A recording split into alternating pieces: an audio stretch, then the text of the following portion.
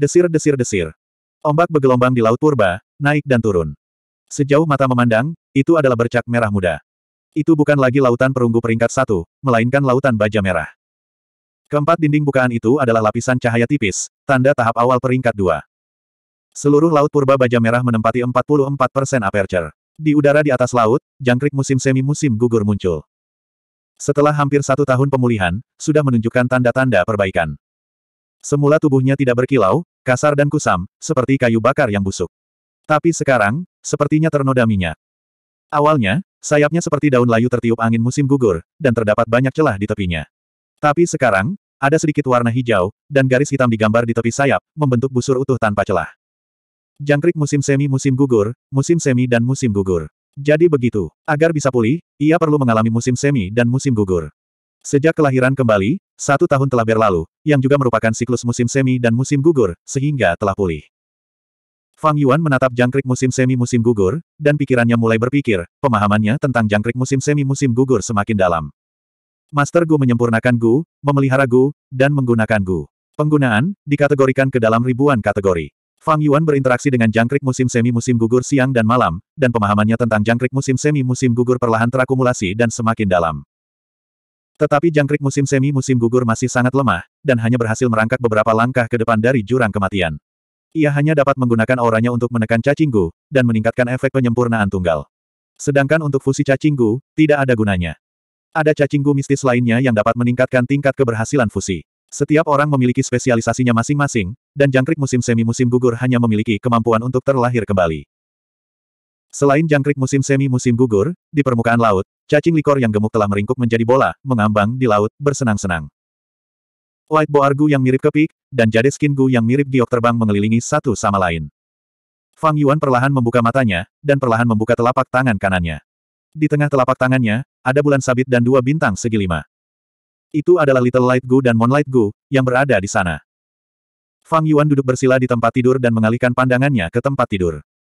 Ada tiga kantong uang di tempat tidur, dua menggembung dan separuh lainnya mengempis. Selain itu, ada juga gading Raja Babi Hutan yang seputih salju. Bentuknya seperti gading gajah, tergeletak dengan tenang di atas Rei di samping kaki Fang Yuan. Setelah tim siklis Nake mencoba yang terbaik untuk membunuh Raja Boar, mereka diserang oleh sekelompok serigala petir. Sebagian besar daging Raja Babi Hutan dimakan oleh serigala petir, hanya menyisakan dua taring seputih salju sebagai rampasan perang paling berharga. Menurut aturan suku, sebagai salah satu anggota yang membunuh Raja Babi Hutan, Fang Yuan menerima salah satu taring Raja Babi Hutan secara gratis. Fang Yuan memandangi barang-barang di depannya dengan ekspresi serius, saya tidak punya banyak batu Yuan yang tersisa, itu hanya cukup untuk satu fusi. Setelah peleburan ini, terlepas dari keberhasilan atau kegagalan, keuangan saya akan runtuh. Tetapi jika saya tidak melebur tepat waktu, dalam waktu kurang dari 10 hari, batu Yuan saya akan terus habis, dan saya bahkan akan kehilangan kesempatan untuk melebur. Fang Yuan memelihara tujuh cacing gu, dan beban keuangannya cukup besar. Dan karena bakat kelas C-nya, dia menggunakan cacing likor berkali-kali agar bisa berkultivasi dengan cepat. Dengan demikian, pengeluaran batu Yuan lebih tinggi dari orang normal. Baru-baru ini, dia tidak menggunakan batu Yuan untuk mengisi kembali esensi purba dengan cepat. Laut baja merah di tubuhnya adalah hasil pemulihan dirinya. Fang Yuan telah lama memegang batu Yuan, menghitung biaya hidupnya. Batu Yuan tidak bisa digunakan begitu saja. Situasi saat ini seperti dia akan jatuh dari tebing, dan mengandalkan rumput liar di tangannya untuk sementara menjaga tubuhnya di tepi tebing. Namun seiring berjalannya waktu, rumput liar di tangannya mulai rontok. Jika dia tidak melakukan upaya yang berisiko, dia akan segera jatuh dari tebing. Yang perlu dia lakukan sekarang adalah menggunakan rumput liar di tangannya untuk memanjat tebing. Jika dia berhasil, dia akan bisa mendapatkan aset keluarga, dan naik ke level lain, dan segalanya akan terlihat baru. Jika gagal, dia akan terjatuh, dan jika ingin bangkit kembali, dia harus menghabiskan banyak waktu dan tenaga. Apa pun yang terjadi, ayo kita mulai. Fang Yuan menarik napas dalam-dalam, tatapannya penuh tekad. Gu babi putih, gu kulit giok. Kedua cacing gu keluar dari celahnya bersama pikirannya, dan melayang di depan Fang Yuan. Sekering, Fang Yuan berteriak dalam hatinya, dan White Boar Gu dan Jade Skin Gu tiba-tiba meledak dengan cahaya putih yang menusuk, dan bertabrakan satu sama lain. Tabrakan ini tidak bersuara, namun menghasilkan bola cahaya. Cahaya putih itu bahkan lebih menyilaukan dari sebelumnya. Ini berarti kedua kesadaran Fang Yuan menyatu. Fang Yuan menggunakan kesadarannya untuk mempertahankan bola cahaya putih, dan pada saat yang sama, mengeluarkan batu Yuan dari tasnya, dan melemparkannya ke dalam bola cahaya. Bola cahaya menelan batu Yuan, dan hanya bubuk yang tersisa, jatuh ke tempat tidur. Setiap kali ia menelan sepotong, ujung bola cahaya akan sedikit melebar. Bola cahaya itu menyerap esensi purba alami, dan menjadi semakin besar. Perlahan-lahan, ukurannya berubah dari ukuran wastafel menjadi seukuran penggilingan batu. Ini tentang waktu. Fang Yuan menyipitkan matanya, dan meraih gading salju Raja Babi Hutan di tangannya, dan melemparkannya ke dalam bola cahaya. Jika ada yang melihat ini, mereka akan berteriak kaget. Karena resep White Boargu dan Jade Skin Gu untuk memurnikan White Jade Gu telah diketahui oleh semua orang selama ribuan tahun, namun belum pernah ada yang mendengar tentang penambahan gading salju King Boar. Namun, tidak memilikinya di masa lalu bukan berarti tidak memilikinya di masa depan. 150 tahun kemudian, seorang Master Gu menyempurnakan resep ini, dan menemukan bahwa menambahkan gading babi hutan akan meningkatkan tingkat keberhasilan fusi secara signifikan. Fang Yuan telah terlahir kembali 500 tahun yang lalu, dan tentu saja mengetahui trik ini. Begitu gading salju dilemparkan ke dalam bola cahaya, terjadi perubahan ajaib. Cahaya putih yang awalnya menyilaukan langsung menjadi lembut. Awalnya, itu hanya menembak secara membabi buta ke segala arah, tapi sekarang, ada semacam cahaya yang beriak, dan ritme alami perubahan antara terang dan gelap. Di bawah tatapan Fang Yuan, bola cahaya itu perlahan menyusut, dan akhirnya menghilang ke udara. Gu kulit giok dan gu babi putih telah hilang, dan seekor cacing gu baru diam-diam melayang di depan Fang Yuan. Bentuknya seperti kerikil oval, seluruhnya berwarna putih. Namun warna putih ini bukanlah putih kertas nasi, atau putih susu seperti susu, melainkan sejenis putih dengan kilau batu giok. Ini adalah, gu giok putih peringkat dua. Pada titik ini, Fang Yuan menghirup udara keruh, dan batu di hatinya menetap. Jangan lihat proses ini, sepertinya sangat sederhana. Tapi ternyata tidak. Pertama, untuk memadukan kesadaran, seseorang harus mampu melakukan banyak tugas. Orang biasa menggambar lingkaran dengan satu tangan, dan menggambar kotak dengan tangan lainnya, ini multitasking. Banyak orang merasa kesulitan untuk melakukan hal ini, apalagi tingkat kesulitan multitasking yang semakin tinggi. Seseorang harus memiliki akumulasi yang tak terhitung jumlahnya, kultivasi yang sungguh-sungguh, dan menanggung kegagalan dan kemunduran yang tak terhitung jumlahnya, serta sejumlah bakat tertentu untuk dapat melakukan banyak tugas. Fang Yuan dapat melakukan ini dengan mudah, itu semua karena akumulasi yang tebal selama 500 tahun, dan tidak sedikit pun yang dapat dipalsukan. Kedua, pemahaman dan pengetahuan tentang cacing gu. Semakin dalam pemahaman Master Gu tentang cacing gu, semakin tinggi pula tingkat keberhasilan fusinya. Ini juga merupakan wawasan mendalam yang akan diketahui secara luas sekitar 300 tahun mendatang. Jadi, semakin lama Wong Gu digunakan, semakin tinggi tingkat keberhasilan fusinya. Ketiga, resep yang benar dan unik. Misalnya, kali ini penambahan gading salju seperti sentuhan akhir, tiba-tiba meningkatkan tingkat keberhasilan sebesar 20%. Efeknya sungguh luar biasa. Beberapa resep tersebar luas di dunia ini, namun banyak juga resep yang disayangi dan tidak disebarkan. Misalnya, Moonlight Gu di desa Gu Yue, resep untuk memperbaikinya hanya ada di tangan beberapa tetua klan, serta beberapa generasi pemimpin klan. Hal ini terutama berlaku untuk resep-resep rahasia yang dapat mencapai revolusi kelima dan seterusnya. Mereka disembunyikan oleh para Master Gu, menghargai mereka sama seperti nyawa mereka. Banyak Master Gu yang tidak mau memberikan mereka sampai mereka berada di ambang kematian. Namun bahkan dengan tiga poin ini, tidak ada cara untuk mencapai kesuksesan mutlak. Bahkan orang seperti Fang Yuan, dengan ingatannya selama 500 tahun, pengalaman yang sangat kaya, pemahaman mendalam tentang cacing gu, mampu melakukan banyak tugas, dan mengetahui banyak resep. Namun masih ada kemungkinan gagal saat dia menggabungkan cacing gu.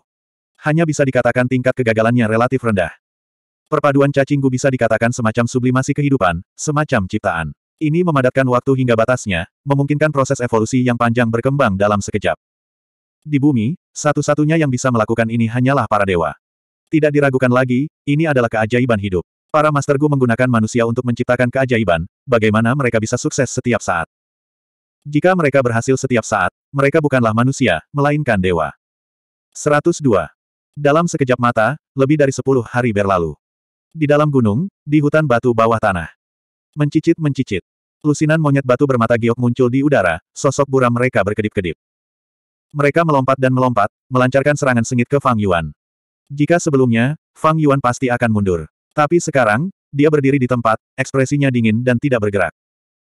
Monyet batu itu menabrak, mencakar, dan menggigit tubuh Fang Yuan, mengeluarkan suara yang tajam, seolah-olah mereka tidak menyerang seseorang, melainkan pilar batu giok yang kokoh. Cahaya giok putih samar menempel erat di tubuh Fang Yuan.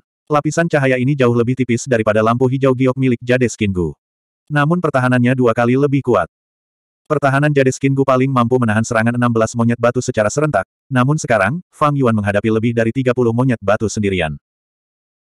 Di atas panggung, aku bisa menghancurkan pertahanan Jade Skin Gu Fang Zeng dengan tangan kosong, tapi jika Fang Zeng menggunakan White Jade Gu ini, bahkan jika tulangku patah, aku tidak akan bisa mematahkan pertahanan ini. Fang Yuan merenung, dan pada saat yang sama, dia membagi sebagian perhatiannya ke Laut Purba di celahnya. Di Laut Purba Baja Merah, Gu Giok Putih berada di dasar laut, menyerap esensi purba. Permukaannya juga memancarkan cahaya giok putih samar, seperti bola lampu.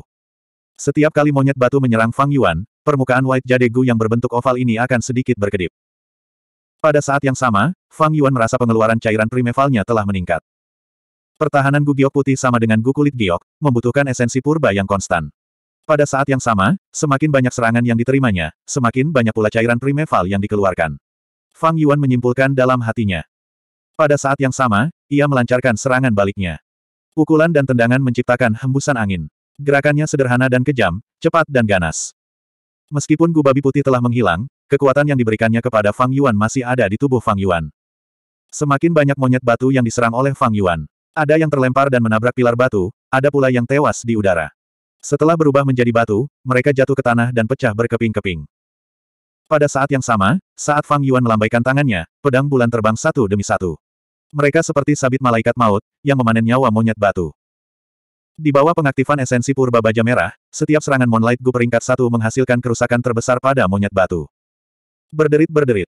Monyet batu itu berteriak ketakutan dan terus mundur. Dalam waktu singkat ketika Fang Yuan melakukan serangan balik, sejumlah besar monyet batu telah musnah, dan hanya tersisa lima atau enam. Fang Yuan membunuh satu sama lain. Monyet batu yang tersisa akhirnya hancur dan melarikan diri ke kedalaman hutan batu. Fang Yuan tidak mengejar tentara yang kalah. Sebaliknya, dia terus maju lebih jauh ke tengah hutan batu. Hari-hari ini, dia rajin mencari petunjuk selanjutnya tentang warisan tersebut. Saat dia terus menjelajah, dia sudah melangkah ke sekitar hutan batu, tapi dia tidak menemukan apa pun. Fang Yuan memiliki pemahaman, samar-samar menebak pikiran biksu bunga anggur. Dia merasa bahwa petunjuk selanjutnya kemungkinan besar akan ditempatkan di tengah hutan batu bawah tanah ini oleh biksu bunga anggur. Semakin dalam dia masuk ke dalam hutan batu, semakin besar pilar batunya, dan semakin banyak kera batu yang ada. Saat Fang Yuan berjalan, dia menatap ke kejauhan. Di tengah hutan batu terdapat pilar batu terbesar. Sekalipun selusin orang dewasa berpegangan tangan dan memeluknya, mereka tidak akan bisa memeluknya. Pilar batu ini adalah tujuan selanjutnya. Namun, Semakin dalam dia pergi, semakin besar ukuran kelompok monyet batu tersebut, dan semakin tinggi kesulitannya. Fang Yuan mengambil langkah penting dan menerobos garis peringatan kelompok monyet. Berderit-berderit-berderit. Dari lubang di pilar batu, monyet batu mata giok yang marah keluar. Jumlahnya lebih dari seratus, dan mereka menerkam ke arah Fang Yuan. Fang Yuan berbalik dan berlari.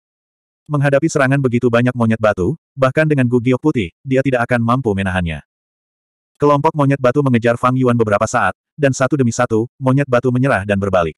Secara bertahap, hanya tersisa 30 atau lebih monyet batu, tergantung di belakang Fang Yuan. Fang Yuan melihat waktunya telah tiba, dan berbalik untuk bertarung.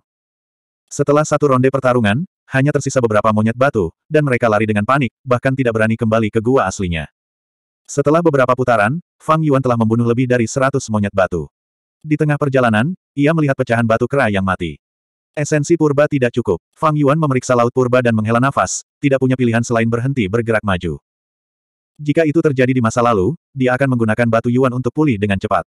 Tapi sekarang, setelah memurnikan Gu Giok putih, batu Yuan miliknya sangat kurang, dan keuangannya benar-benar hancur. Fang Yuan mengambil bola mata batu giok yang berserakan di tanah, dan memasukkannya ke dalam tas. Seharusnya berada di bawah pilar batu di tengah, tapi untuk sampai ke sana, saya perlu membuka jalan. Perasaan ini semakin kuat, dan Fang Yuan melihat ke belakang untuk terakhir kalinya, dan membuka pintu batu, kembali ke ruang rahasia kedua. Di sudut ruang rahasia, ada beberapa barang lain-lain. Sebuah karung goni kecil berisi ratusan manik-manik giok bola mata. Fang Yuan membukanya, dan menuangkan semua manik-manik giok yang telah dia bunuh hari ini. Manik-manik giok bertabrakan satu sama lain, menghasilkan serangkaian suara yang tajam. Ada lagi karung goni berisi gading babi hutan. Namun kini, Fang Yuan tidak perlu lagi membunuh babi hutan. Dia menggunakan White Boar Gu dan Jade Skin Gu untuk berhasil menyempurnakan White Jade Gu. Dengan hilangnya gu babi putih, kebutuhannya akan daging babi berkurang menjadi nol.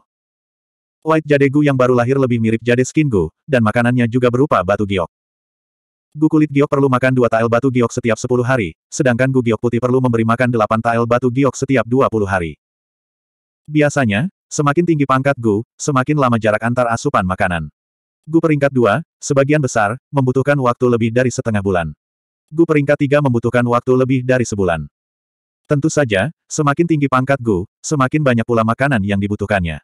Rata-rata, biaya makan Gu giok putih lebih mahal daripada gabungan Gu kulit giok dan Gu babi putih. Tetapi bagi Fang Yuan, dia memiliki hutan batu bawah tanah, dan tidak kekurangan batu giok.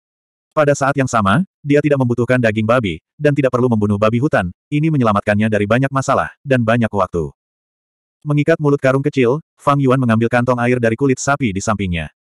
Kantong airnya menggembung, dan berisi anggur madu emas. Beberapa hari yang lalu, Fang Yuan mengandalkan gukulit giok untuk menahan serangan lebah emas, dan mengumpulkan cukup banyak anggur madu dari sarang lebah. Aku hanya punya dua setengah keping batu Yuan sekarang. Sekarang saatnya pergi ke aula urusan dalam negeri, dan menyerahkan misi aset keluarga. Fang Yuan menyimpan kantong air dari kulit sapi, dan kembali ke terowongan bawah tanah, keluar dari celah dan kembali ke dunia luar. Saat ini, hari sudah senja. Senja musim dingin, cuacanya bagus, dan tidak terasa dingin. Matahari terbenam menunjukkan warna oranye merah yang hangat, dan sinar matahari yang cerah menyinari kanopi pohon pinus, menyinari gunung. Berjalan sendirian, dia berjalan menuju desa. Namun Fang Yuan tidak bergerak maju secara langsung, melainkan sengaja mengambil beberapa jalan memutar, untuk mengurangi kemungkinan ditemukannya gua rahasia retakan batu. Angin musim dingin bertiup di wajahnya, inilah rasa kebebasan. Saat dia di akademi, dia hanya bisa menyelinap di malam hari. Sekarang Fang Yuan telah naik ke peringkat dua, dia bisa masuk dan keluar dengan bebas di hari itu, dan tidak akan menimbulkan kecurigaan. Tentu saja, hal yang paling penting adalah dengan kematian siklis Nake dan tiga lainnya, Fang Yuan memiliki satu batasan yang berkurang saat dia sendirian. Satu-satunya kendala adalah Fang Yuan sendirian sekarang, tanpa dukungan anggota timnya. Menyelesaikan misi bulanan klan akan lebih sulit lagi. Sekarang, setelah gelombang kecil, semua kelompok kecil telah selesai melakukan reorganisasi, dan Fang Yuan telah melewatkan kesempatan ini. Dan karena reputasinya, Fang Yuan diam-diam dikucilkan oleh Master Gu lainnya. Tidak mudah untuk bergabung dengan kelompok lain. Baiklah, semakin aku berkeliaran di luar, semakin sedikit orang yang memperhatikanku, dan semakin menguntungkan bagiku. Adapun misi bulanan klan adalah wajib, jadi saya harus menerimanya. Tetapi, memikirkan hal ini, mata Fang Yuan bersinar dengan cahaya dingin. Dia sudah merencanakan hal ini sejak lama. Di pihak klan, Master Gu wajib menerima setidaknya satu misi setiap bulan, namun misi tersebut tidak wajib diselesaikan. Jika misi tidak dapat diselesaikan, evaluasi akan dibatalkan. Ini adalah sesuatu yang hampir tidak ingin dilihat oleh semua Master Gu, jadi mereka melakukan yang terbaik untuk menyelesaikannya. Namun bagi Fang Yuan, apa yang disebut evaluasi bukanlah apa-apa. Berjalan ke desa, di jalan beraspal berwarna biru, ada banyak pejalan kaki yang tak ada habisnya. Biasanya saat ini adalah puncak lalu lintas manusia. Banyak Master Gu, setelah menyelesaikan misi mereka, kembali ke desa dengan luka-luka dan sosok yang menyedihkan. Para petani yang sudah seharian bekerja menyeret tubuh lelah mereka dengan telanjang kaki dan kaki berlumpur, diam-diam bergerak maju. Di dunia ini, hidup tidaklah mudah, ada kepahitan dan kesakitan. Matahari terbenam berangsur-angsur turun ke puncak gunung, menyebarkan sisa cahaya hangat terakhir. Kemudian cahaya ini dipecahkan oleh ranting-ranting pohon layu yang bersilangan, berubah menjadi pecahan waktu, bertebaran di dinding bambu hijau. Ah, mainanku! Seorang gadis berteriak sambil mengejar gasing di tengah kerumunan. Gasing yang berputar berguling ke kaki Fang Yuan, dan gadis itu menabrak kaki Fang Yuan, jatuh ke tanah.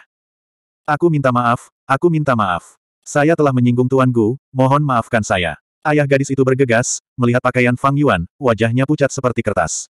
Dia membawa gadis itu, berlutut di tempat, bersujud kepada Fang Yuan tanpa henti.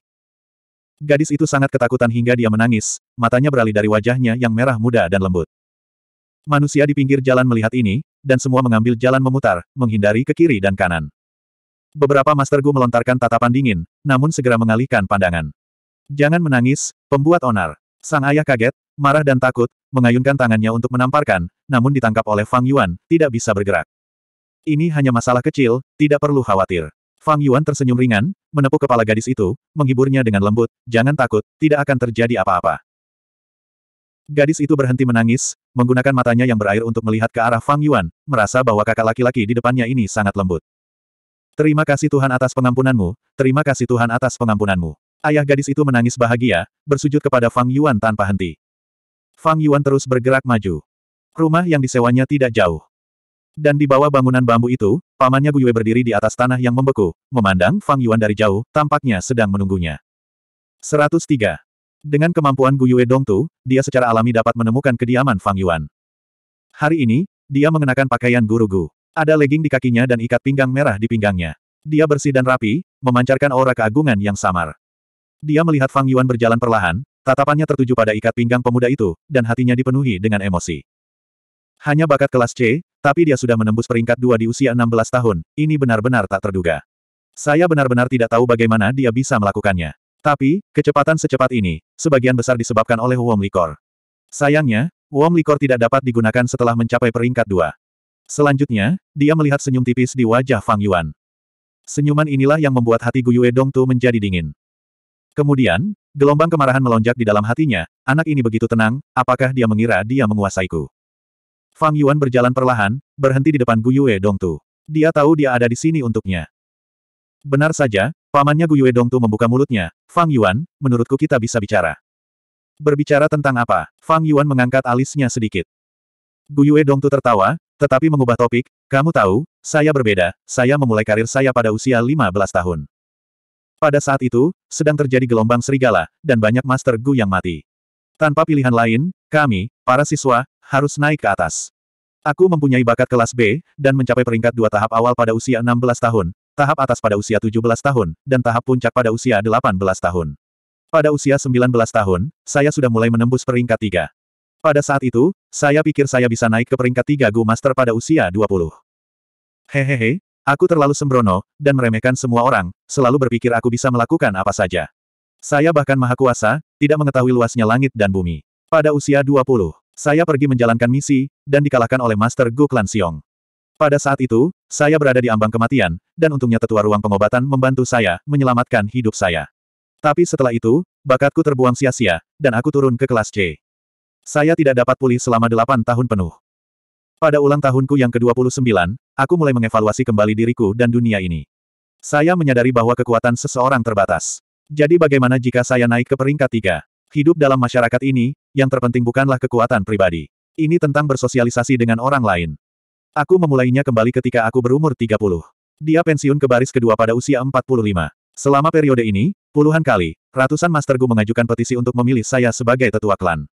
Meskipun kultivasi saya baru berada di puncak transisi kedua, dan saya tidak akan mampu mengambil langkah itu seumur hidup, saya tidak perlu melakukannya. Saya telah berhasil. Anggota klanku memanggilku, penatua tersembunyi. Kebanyakan teman-temanku sudah meninggal, tapi aku masih hidup dan sehat. Terhadap para Master Gu yang berjuang di luar, pengaruhku masih ada. Sampai di sini, Gu Yue Dongtu akhirnya kembali ke topik utama. Dia memandang Fang Yuan dan tersenyum. Fang Yuan, kamu masih terlalu muda dan belum berpengalaman, sama seperti saya saat itu. Dia berpikir bahwa dia bisa membuat keputusan sendiri dan melakukan apa pun yang dia inginkan. Hehe. Dongtu Guyue Dongtu menggelengkan kepalanya dan melanjutkan, tetapi ketika Anda memiliki lebih banyak pengalaman dalam hidup, Anda akan memahami bahwa manusia adalah anggota masyarakat dan bukan binatang yang menyendiri. Terkadang, hidup mengharuskan Anda untuk menundukkan kepala dan menyerah. Bersikap ekstrim, liar, dan flamboyan hanya akan berujung pada isolasi dan kehancuran. Saya yakin Anda sudah merasakannya. Tidak ada kelompok yang mau menerima Anda, dan semua orang di sekitar Anda menolak Anda. Sekalipun Anda menerima misi untuk berpisah dari keluarga, apa yang dapat Anda lakukan? Anda sudah sendirian dan tidak memiliki peluang untuk menyelesaikan misi. Menyerah saja. Fang Yuan memandang pria parubaya di depannya dengan acuh tak acuh, ekspresinya tenang. Jika dia tahu dia memiliki pengalaman hidup selama 500 tahun, aku ingin tahu ekspresi apa yang akan dia miliki. Memikirkan hal ini, mata Fang Yuan menunjukkan sedikit senyuman. Padahal, pemikiran pamannya merupakan falsafah hidupnya sejak lama di kehidupan sebelumnya.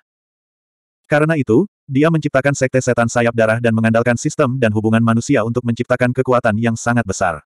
Dengan satu panggilan, dia menguasai sumber daya dan melawan musuh yang kuat. Namun, ketika dia berhasil menembus peringkat enam, dia melihat pemandangan yang sangat berbeda. Di antara para Master Gu, peringkat lima menjadi manusia fana, dan peringkat enam menjadi abadi. Ketika dia berdiri di ketinggian ini dan melihat kehidupan lagi, dia tiba-tiba menyadari, kekuatan yang sangat besar memang merupakan bantuannya, tetapi juga merupakan beban dan beban yang sangat besar. Tidak peduli di dunia mana, hanya ada satu orang yang benar-benar bisa diandalkan, dan itu adalah dirinya sendiri. Hanya saja orang sering kali lemah. Mereka tidak tahan kesepian dan tidak tahan sendirian. Mereka suka mengejar keluarga, persahabatan, dan cinta untuk mengisi hati mereka. Mereka tergila-gila dengan kelompok tersebut dan takut sendirian. Begitu mereka mengalami kemunduran, mereka akan bersembunyi di dalam kelompok dan mengadu kepada keluarga dan teman-teman mereka. Mereka tidak berani menghadapi ketakutan dan kegagalan sendirian. Saat ada kepedihan, mereka sibuk membaginya. Saat ada kebahagiaan, mereka bersemangat untuk memamerkannya. Apakah Gu Yue Dongtu berhasil? Tanpa ragu, dia berhasil. Dia tidak bisa melanjutkan jalur aslinya, jadi dia beralih ke jalur lain dan berjalan keluar dari langit. Namun, dia juga gagal. Dia menundukkan kepalanya karena kemunduran. Dia hanya seorang pengecut, tapi dia tetap bangga dengan pelariannya. Tentu saja, Gu Yue Dongtu tidak tahu bahwa Fang Yuan telah menganggapnya pengecut. Dia melihat Fang Yuan tidak berbicara, jadi dia mengira Fang Yuan telah terintimidasi oleh kata-katanya. Dia melanjutkan, Fang Yuan, kamu bukan Fang Zeng, jadi saya akan jujur. Jika Anda bisa membatalkan rencana Anda untuk mewarisi properti keluarga, Anda bisa mendapatkan persahabatan saya dan memanfaatkan koneksi saya. Pada saat yang sama, saya akan memberi kompensasi kepada Anda dengan seribu keping batu Yuan. Saya tahu Anda kekurangan uang akhir-akhir ini. Anda bahkan telah menunda pembayaran sewa selama dua hari. Fang Yuan tersenyum acuh tak acuh dan berkata, Paman, kamu jarang memakai pakaian ini, kan? Gu Yue Dongtu terkejut. Dia tidak menyangka Fang Yuan tiba-tiba mengangkat topik ini. Namun, Fang Yuan benar. Dia sudah lama pensiun, dan set pakaian ini disembunyikan di bagian bawah kotak. Hari ini, ketika dia datang menemui Fang Yuan, dia sengaja mengenakan ini untuk meningkatkan daya persuasif dan pencegahannya. Fang Yuan menghela napas. Ia memandangi pakaian Dongtu milik Gu Yue dan berkata perlahan, pakaian seorang guru Gu tidak sebersih dan serapi ini. Perlu ternoda keringat, lumpur, dan darah, perlu compang camping, baru kemudian tercium bau gurugu. Kamu sudah tua, Tuan Paman. Anda kehilangan ambisi Anda ketika Anda masih muda. Dia telah menjalani kehidupan yang nyaman tahun ini. Telah merusak hatimu. Anda memperjuangkan harta keluarga bukan untuk ditanami, tetapi untuk mempertahankan kehidupan yang sejahtera. Bagaimana Anda bisa menghentikan saya dengan mentalitas seperti itu? Wajah Gu Yue Dongtu langsung memucat, dan kemarahan muncul di hatinya. Di dunia ini, selalu ada sekelompok orang tua mereka berkeliling menjajakan pengalaman sosial, memperlakukan cita-cita orang lain sebagai khayalan, menganggap antusiasme orang lain sebagai kesembronoan, dan memperlakukan kegigihan orang lain sebagai kesombongan. Mereka sering kali menemukan rasa eksistensi dan superioritasnya sendiri dalam memberikan pelajaran kepada juniornya. Tanpa keraguan, Gu Yue Dongtu adalah orang seperti itu. Dia ingin memberi pelajaran pada Fang Yuan. Tapi dia tidak menyangka bahwa Fang Yuan tidak hanya tidak mendengarkan dan tunduk padanya, dia bahkan datang untuk memberinya pelajaran. Fang Yuan. Dia berteriak, sebagai sesepuh Anda, saya membimbing Anda dengan niat baik.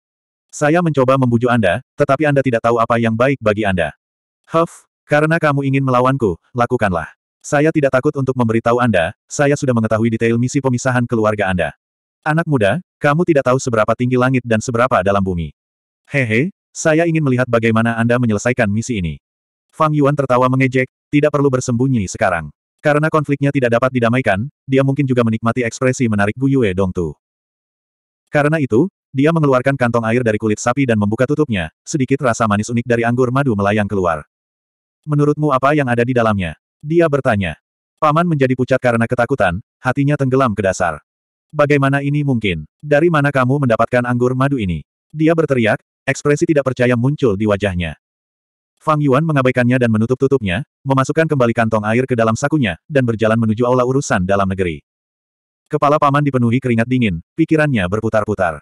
Dari mana dia mendapatkan anggur madu ini? Saya sudah mengatakan kepadanya bahwa selama dia menemukan grup lain, saya akan segera mendapat kabar. Apakah dia melakukannya sendirian? Tidak, bagaimana mungkin, dia tidak memiliki cacing gu yang defensif. Seseorang pasti telah membantunya. Tidak, yang penting sekarang bukanlah menemukan alasannya. Fang Yuan sudah mendapatkan anggur madu, dia akan menyerahkan misi itu. Memikirkan hal ini, hati Gu Yue Dongtu sudah kacau, dia tidak lagi memiliki ketenangan seperti sebelumnya. Dia segera menyusul Fang Yuan, Fang Yuan, tunggu, semuanya bisa didiskusikan. Fang Yuan tidak berbicara, dia terus berjalan, Gu Yue Dongtu hanya bisa mengikuti di sampingnya. Jika seribu yuan batu tidak cukup, maka dua ribu, tidak, dua ribu lima ratus. Gu Yue Dongtu terus menaikkan harga. Fang Yuan menutup telinga, tapi di dalam hatinya, dia punya ekspektasi terhadap keluarga ini. Gu Yue Dong tuh begitu cemas hingga terus menaikkan harga, sepertinya aset keluarga yang sebenarnya sangat berharga. Gu Yue Dong tuh berkeringat deras, melihat Fang Yuan tidak tergerak, wajahnya berubah seram, dan dia mengancam dengan suara rendah, Fang Yuan, sebaiknya pikirkan baik-baik. Apa yang akan terjadi padamu jika kamu menyinggung perasaanku? Huff, jika kamu kehilangan tangan atau kaki di kemudian hari, jangan salahkan aku karena kejam. Henry Fang tertawa. Gu Yue Dongtu ini adalah orang yang sangat menyedihkan. Dia terikat aturan, kantong air jelas ada di depannya, tapi dia tidak berani merebutnya. Dia sangat pengecut, namun dia tetap ingin memperjuangkan keuntungan, bagaimana dia bisa berhasil. Tidak peduli di dunia mana, jika Anda ingin mendapatkan sesuatu, Anda harus membayar harganya. Fang Yuan, jangan berpikir semuanya akan baik-baik saja hanya karena kamu mendapatkan aset keluarga. Izinkan saya memberitahu Anda, Anda masih terlalu muda, Anda tidak tahu apa itu masyarakat, apa bahayanya. Gu Yue Dongtu meraung dengan suara rendah di telinga Fang Yuan.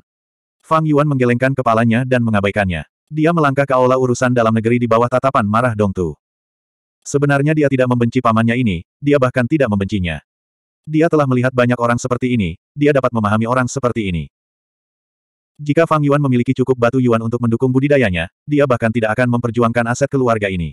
Namun, itu hanya keuntungan kecil, lalu bagaimana jika dia memberikannya kepada pamannya? Apa tujuan kelahirannya kembali? Itu bukan untuk bertarung dalam waktu singkat, tapi untuk mencapai puncak yang terkuat. Pejalan kaki seperti ini, selama mereka tidak ikut campur dalam masalah ini, dan membiarkan mereka mengaum di samping, dia, Fang Yuan, bahkan tidak akan repot-repot menginjak mereka. Namun, Gu Yue Dongtu ini kebetulan menghalangi kemajuan Fang Yuan. Karena itu masalahnya, dia hanya akan menginjakmu untuk maju. Fang Yuan, Fang Yuan. Paman Gu Yue Dongtu memperhatikan saat Fang Yuan melangkah ke aula urusan dalam negeri, seluruh tubuhnya gemetar, dan pembuluh darah di dahinya menonjol. Cahaya matahari terbenam menyinari pelipisnya, menyebabkan pelipisnya memutih. Dia memang sudah tua. Pada tahun dia terluka pada usia 20 tahun, dia sudah tua. 104. Fang Yuan pergi ke aula urusan dalam negeri dan menyerahkan anggur madu emas. Tuan Gu pria parubaya yang bertugas menerimanya terkejut dan bertanya, kamu telah menyelesaikan misi warisan keluarga. Bagaimana menurutmu? Fang Yuan bertanya balik. Gu Master laki-laki parubaya mengerutkan kening. Dia secara khusus memilih misi ini untuk mempersulit Fang Yuan. Tidak kusangka Fang Yuan menyelesaikannya begitu cepat. Dia menatap Fang Yuan, matanya bersinar dengan cahaya yang tajam saat dia berkata dengan sungguh-sungguh, anak muda, kamu harus menjawab apa pun yang aku minta. Jika Anda tidak menjawab dengan jelas, itu akan mempengaruhi evaluasi Anda. Izinkan saya bertanya, apakah Anda menyelesaikan misi ini sendirian? Jujur saja, kami akan menyelidikinya. Tentu saja aku melakukannya sendiri, jawab Fang Yuan. Baiklah, aku akan mencatatnya. Gu Master laki-laki paruh baya itu terekam sambil mencibir di dalam hatinya, dia hanyalah seorang pemula, bagaimana dia bisa menyelesaikan misi ini sendirian. Dengan laporan palsu seperti itu, klan pasti akan menemukan seseorang untuk diselidiki. Saat itu, akan ada masalah besar.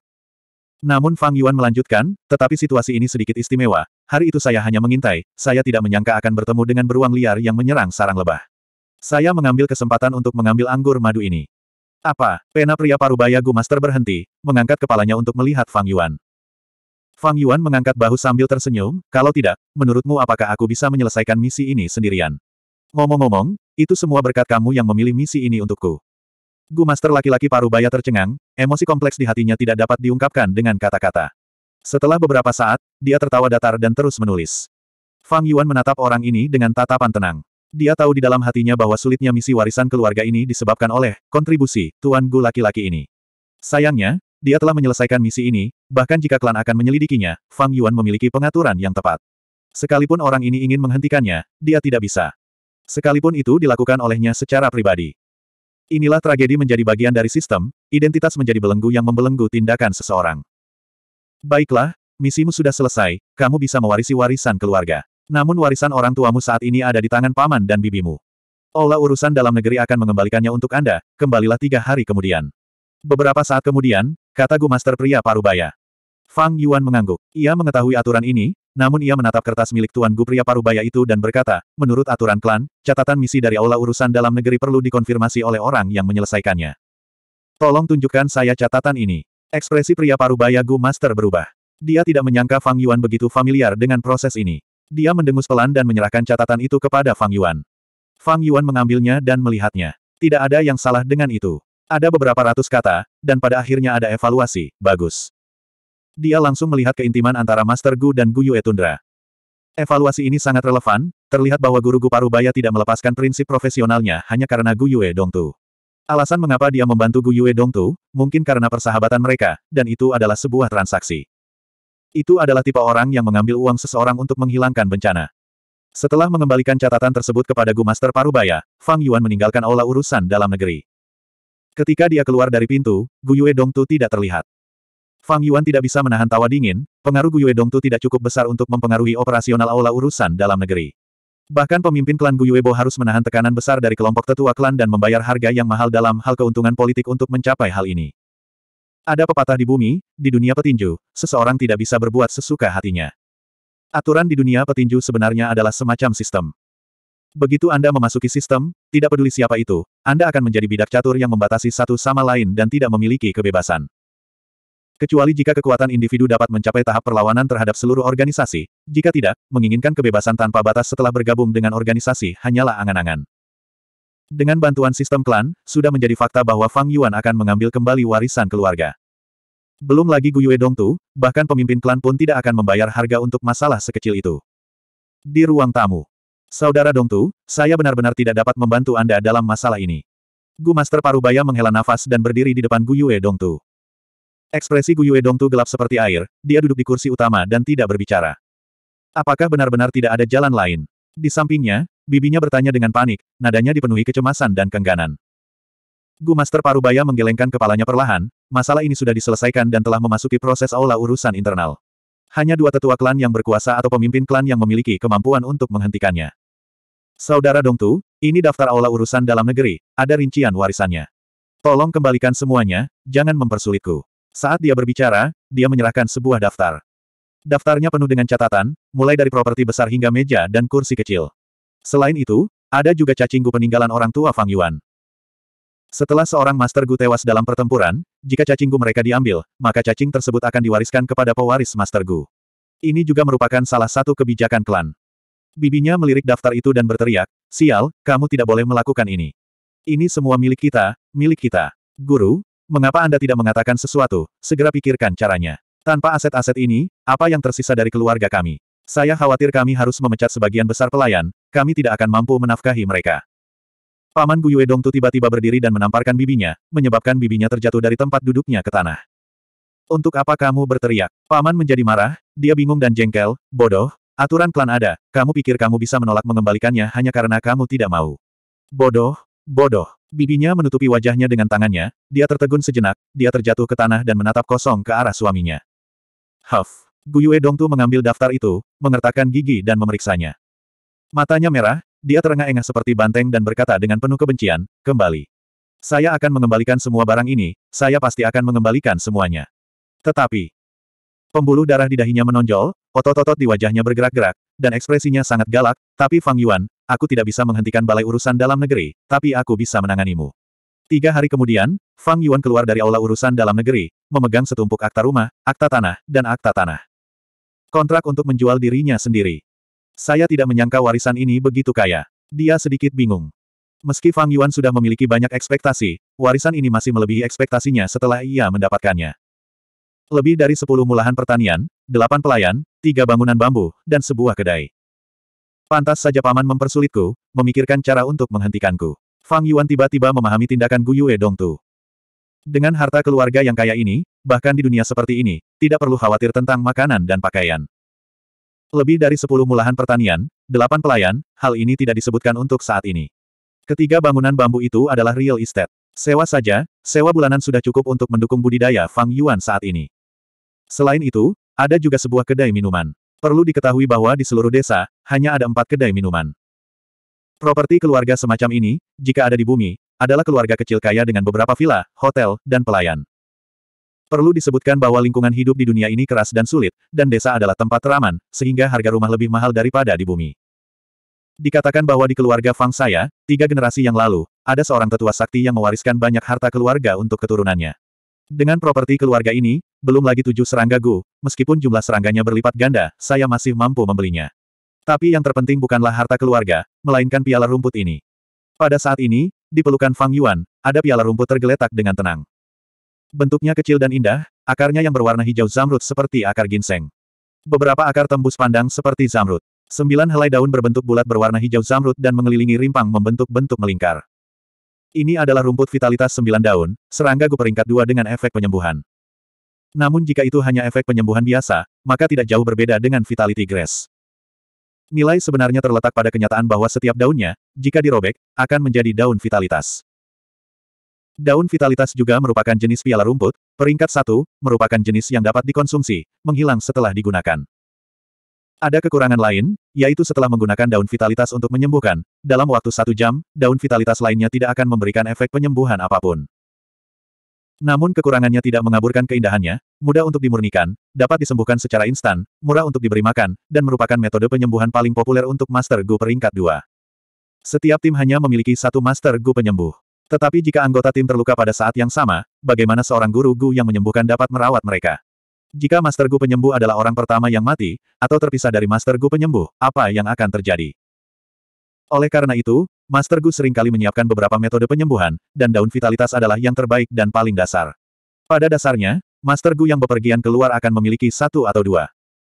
Setelah saya menyempurnakan rumput vitalitas sembilan daun, setiap daun yang saya sobek adalah daun vitalitas. Menanamkan esensi purba ke dalam rumput vitalitas, ia akan menumbuhkan daun baru. Bisa dikatakan rumput vitalitas sembilan daun ini adalah tambang emas yang bergerak. Itu adalah warisan yang paling penting, tidak ada yang lain. Mengontrol rumput vitalitas sembilan daun sama dengan mengendalikan jalur bisnis. Lingkungan hidup di dunia ini sangat keras, guru Gumana yang menjalankan misi tidak akan terluka. Permintaan akan daun vitalitas tidak pernah berhenti. Tidak heran Gu Yue Dongtu dikenal sebagai penatua tersembunyi, meskipun dia telah pensiun selama bertahun-tahun, dia masih memiliki pengaruh di luar. Jadi akar permasalahannya adalah rumput vitalitas sembilan daun ini.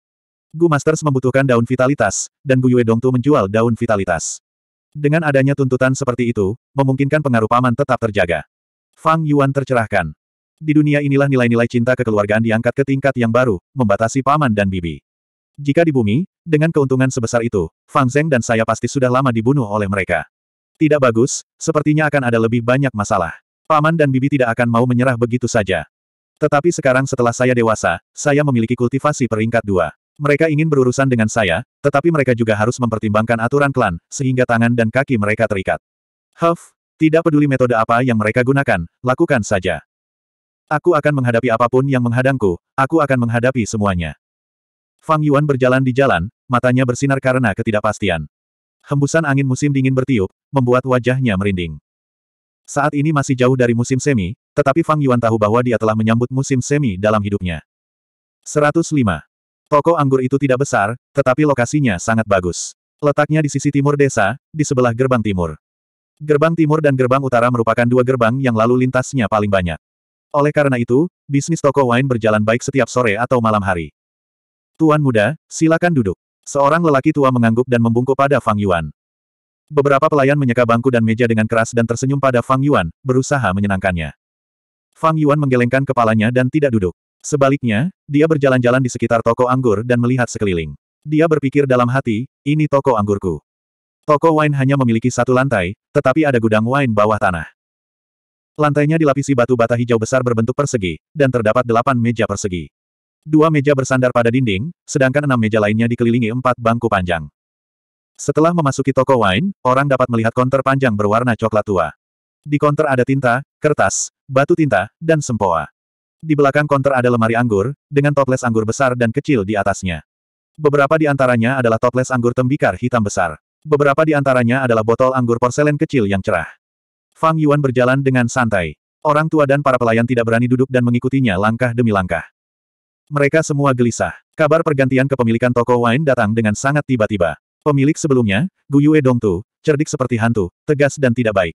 Mereka ditekan hingga tidak bisa bernapas. Pemuda di depan mereka ini sebenarnya bisa mengambil toko wine dari tangan Gu Yue Dongtu. Merebutnya dengan paksa, ini adalah metode yang luar biasa. Oleh karena itu, orang-orang ini memandang Fang Yuan dengan kegelisahan dan ketakutan.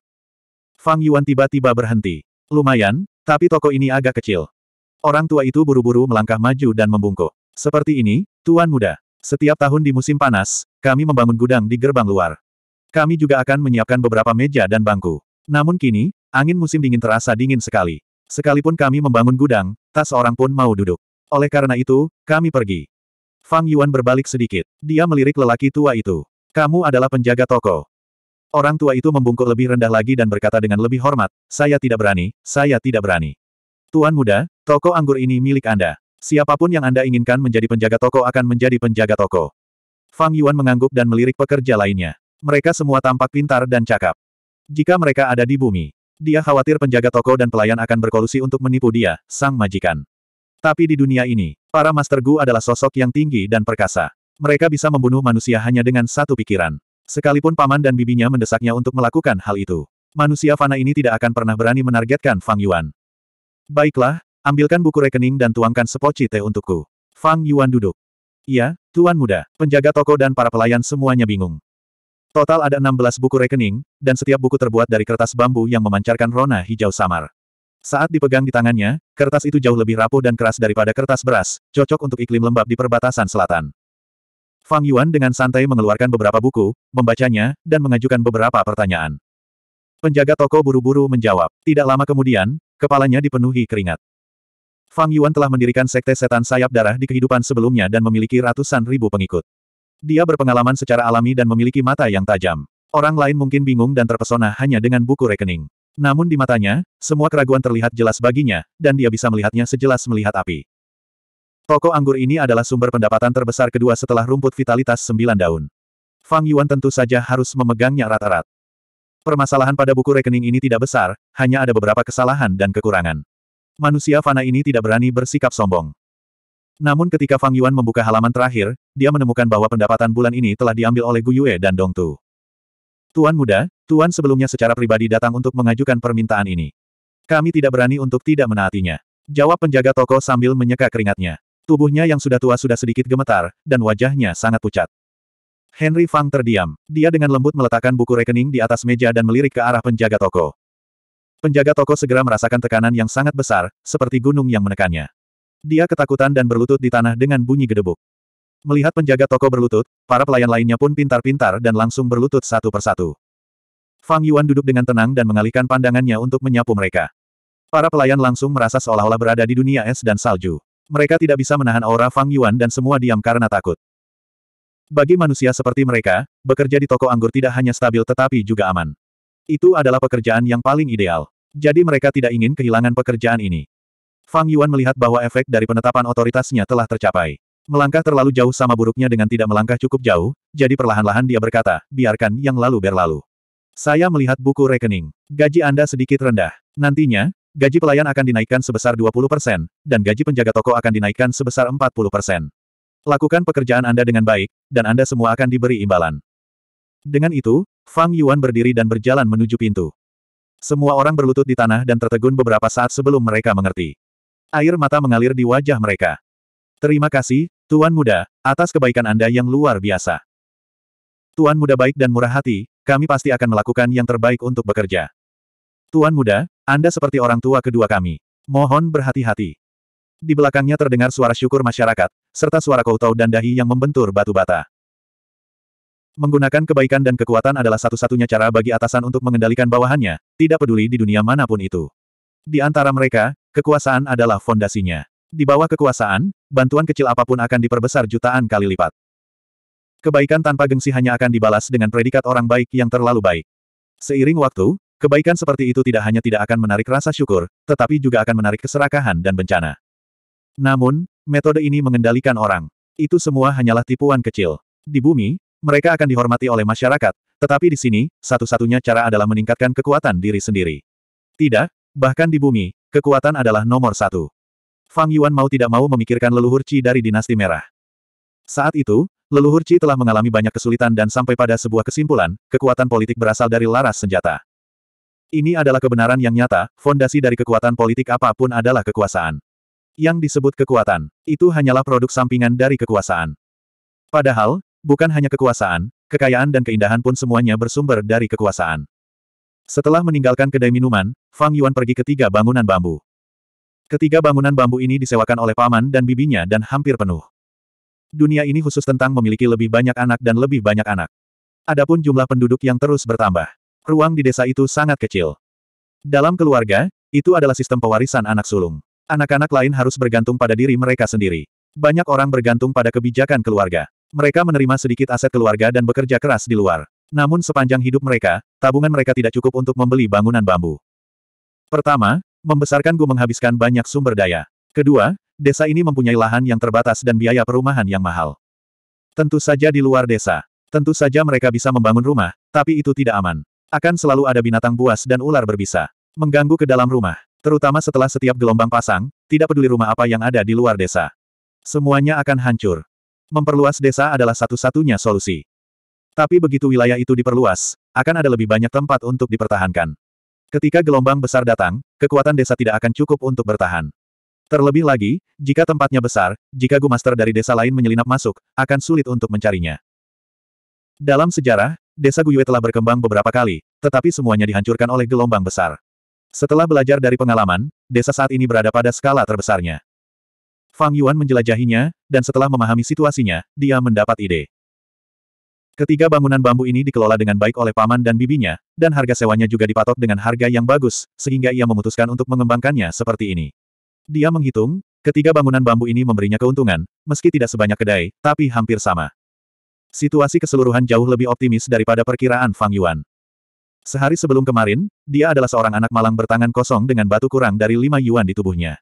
Tapi sekarang, dia telah menjadi salah satu orang terkaya di klan. Penyewa wanita itu semuanya adalah Master Gu peringkat dua yang telah melalui banyak kesulitan. Setelah mengetahui identitas Fang Yuan, mereka memandangnya dengan tatapan menggoda. Selama mereka bisa dekat dengan Fang Yuan dan menikahi Fang Yuan, para Gu Master wanita ini tidak lagi harus berlarian dan mengambil risiko kematian, serta bisa menjalani kehidupan yang stabil. Kehidupan seperti ini adalah apa yang mereka perjuangkan selama ini.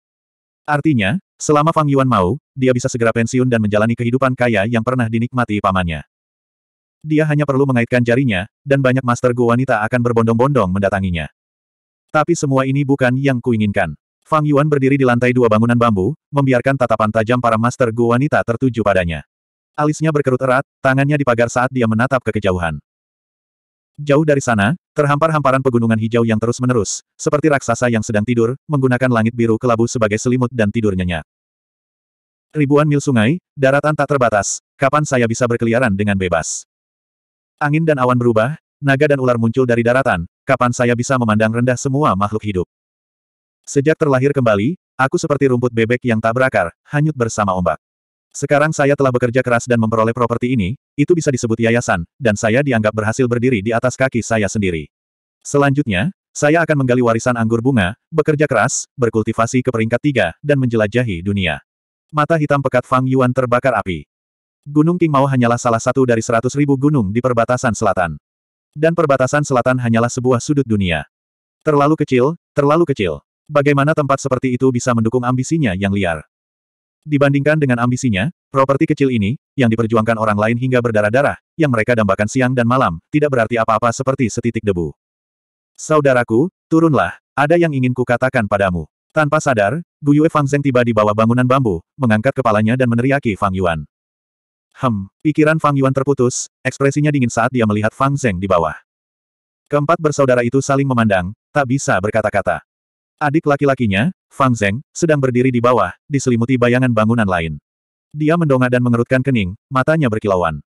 Kakak Fang Yuan berdiri di atas, sinar matahari menyinari dirinya. Kelopak matanya sedikit turun, pupil matanya gelap seperti malam. Wajah mereka yang mirip terpantul di mata satu sama lain. Sehubungan dengan penampilan adiknya, Fang Yuan sama sekali tidak terkejut. Fang Zeng adalah senjata yang digunakan paman dan bibinya untuk memperjuangkan harta keluarga. Tapi, apa yang bisa dia lakukan? Fang Yuan menatap Fang Zeng dari atas, hatinya mendesah pelan, jadi bagaimana jika kamu memiliki bakat kelas A, kamu hanyalah bidak catur. Sungguh tidak berarti. 106.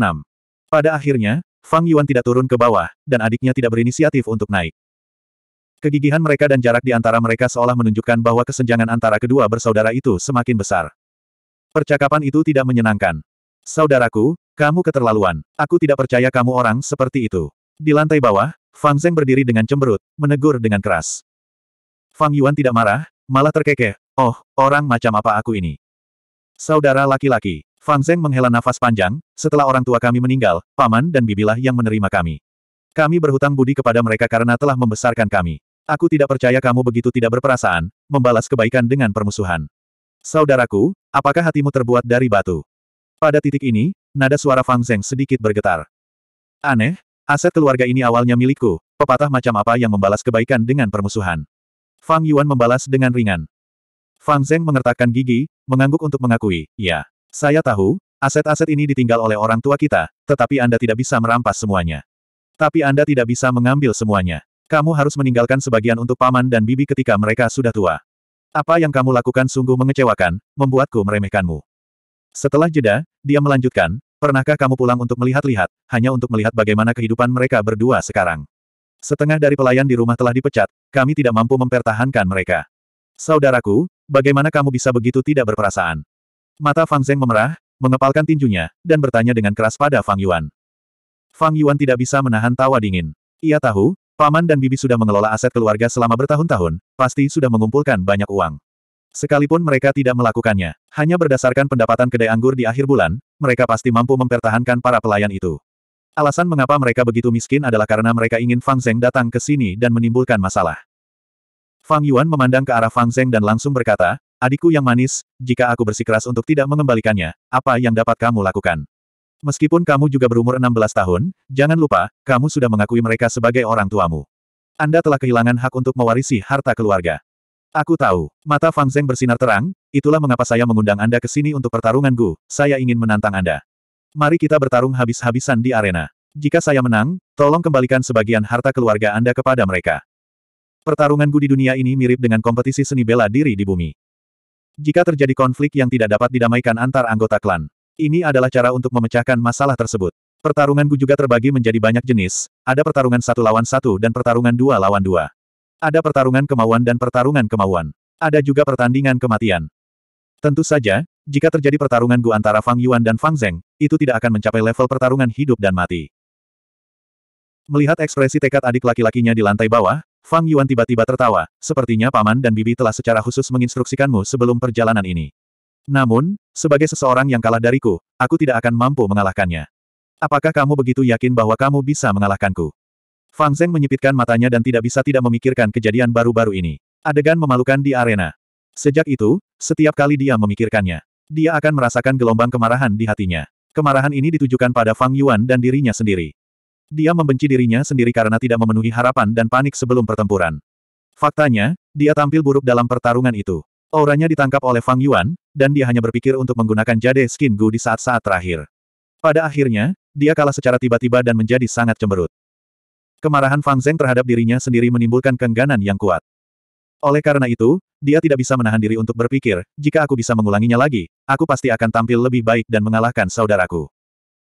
Jadi, ketika paman dan bibi mengadu padanya, Fang Zheng tidak hanya ingin mendapatkan kembali sebagian aset keluarganya untuk mereka, dia juga ingin bersaing dengan Fang Yuan di depan umum untuk membuktikan dirinya.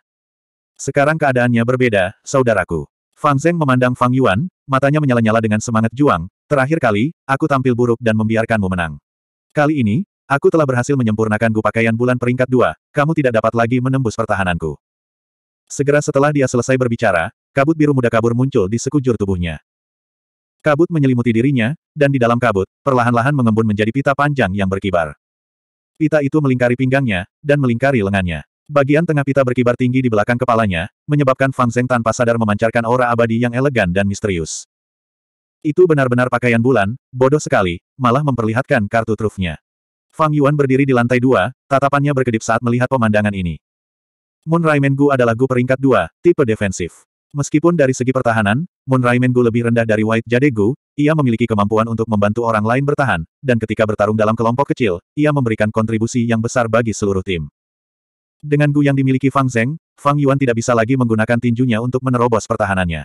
Saat tinju menghantam, rasanya seperti menghantam lapisan kapas yang tebal, kehilangan daya ledaknya sepenuhnya. Bahkan jika dia menggunakan Moonlight Gu, itu tidak akan berhasil, kecuali itu adalah Monglao Gu. Jadi, jika Fang Zheng benar-benar membuat strategi dan menantang Fang Yuan berduel Gu, menurut aturan klan, Fang Yuan harus menerimanya. Dalam situasi di mana dia tidak bisa mengungkap Gu Giok Putih, Fang Yuan mungkin benar-benar kalah. Bagaimanapun juga, ada bakat tingkat, dan dengan pengasuhan pemimpin klan yang cermat, Fang Zheng tumbuh dengan sangat cepat. Jika dikatakan bahwa di akademi, Fang Yuan menekan Fang Zheng, tetapi sekarang, dia harus mengakui bahwa Fang Zheng secara bertahap menunjukkan kecemerlangan seorang jenius, dan secara bertahap menjadi ancaman bagi Fang Yuan. Tapi, menurutmu apakah aku tidak mengharapkan ini? Fang Yuan memandang adik laki-lakinya di bawah, sudut bibirnya melengkung. Dia berkata kepada Fang Zheng, adikku yang keras kepala, tentu saja kamu bisa menantangku. Namun apakah Anda sudah meminta izin anggota tim Anda? Jika saat duel, tim Anda harus keluar untuk menjalankan misi, pilihan mana yang Anda pilih? Fang Zheng tercengang, dia tidak memikirkan aspek ini. Dia harus mengakui bahwa perkataan saudaranya Fang Yuan masuk akal. Tim secara alami harus bergerak bersama, dan jika anggota tim ingin bergerak sendiri, mereka harus melapor terlebih dahulu. Jadi, kenapa kamu tidak kembali dan mencari pemimpin timmu, Gu Yue Kingsu, dan ceritakan padanya tentang situasi ini? Aku akan menunggumu di kedai anggur gerbang timur, kata Henry Fang. Fang Zheng ragu-ragu sejenak, dan akhirnya mengatupkan giginya, saudaraku, aku akan pergi sekarang. Tapi aku harus memberitahumu. Taktik menunda tidak ada gunanya. Dia tiba di kediaman Gu Yue Kingsu, dan seorang pelayan membawanya masuk. Gu Yue Kingsu sedang berlatih menggunakan Gu. Sosoknya melompat dan bergerak di lapangan seni bela diri di halaman rumahnya, sangat bertenaga dan bertenaga. Gu anggur hijau. Dia berteriak pelan, dan dengan suara mendesing, sebatang pohon anggur hijau tua muncul di telapak tangan kanannya. Tanaman merambat itu panjangnya 15 meter, dan Kingsu meraihnya di tangannya, menggunakannya sebagai cambuk untuk mengayunkan, memotong, mengangkat, dan menyapu. Retak-retak-retak. Bayangan cambuk saling bersilangan. Itu menyapu tanah, memecahkan ubin batu biru. Gu jarum pinus. Dia tiba-tiba menyimpan cambuk tanaman merambatnya, dan mengayunkan rambut hijau panjangnya. Segera, hujan lebat jarum pinus keluar dari rambut panjangnya. Sebuah jarum berbulu halus mengenai boneka kayu tidak jauh dari situ, langsung menembus seluruh tubuhnya, menciptakan banyak lubang jarum. Pusaran bulan Gu. Selanjutnya, dia mengulurkan tangan kirinya. Ada jejak bulan sabit hijau di telapak tangannya, tiba-tiba memancarkan cahaya hijau. King Su mengayunkan tangannya. Bila sabit hijau terlempar. Berbeda dari Moonblade biasa, ini adalah serangan garis lurus. Busur pedang bulan hijau ini bahkan lebih melengkung, dan saat terbang di udara, ia menarik garis melengkung, sehingga menyulitkan musuh untuk bertahan melawannya. King Su Senior memang Master Gu peringkat dua nomor satu di desa kami. Di bawah serangan seperti itu, saya bahkan tidak bisa bertahan sepuluh napas. Dia terlalu kuat. Fang Zeng tercengang. Untuk sesaat, dia lupa alasannya datang ke sini. Oh, Fang Zeng, kenapa kamu ada di sini? Misi terakhir baru saja berakhir. Anda perlu lebih banyak istirahat, dan menjaga keseimbangan antara bekerja dan istirahat.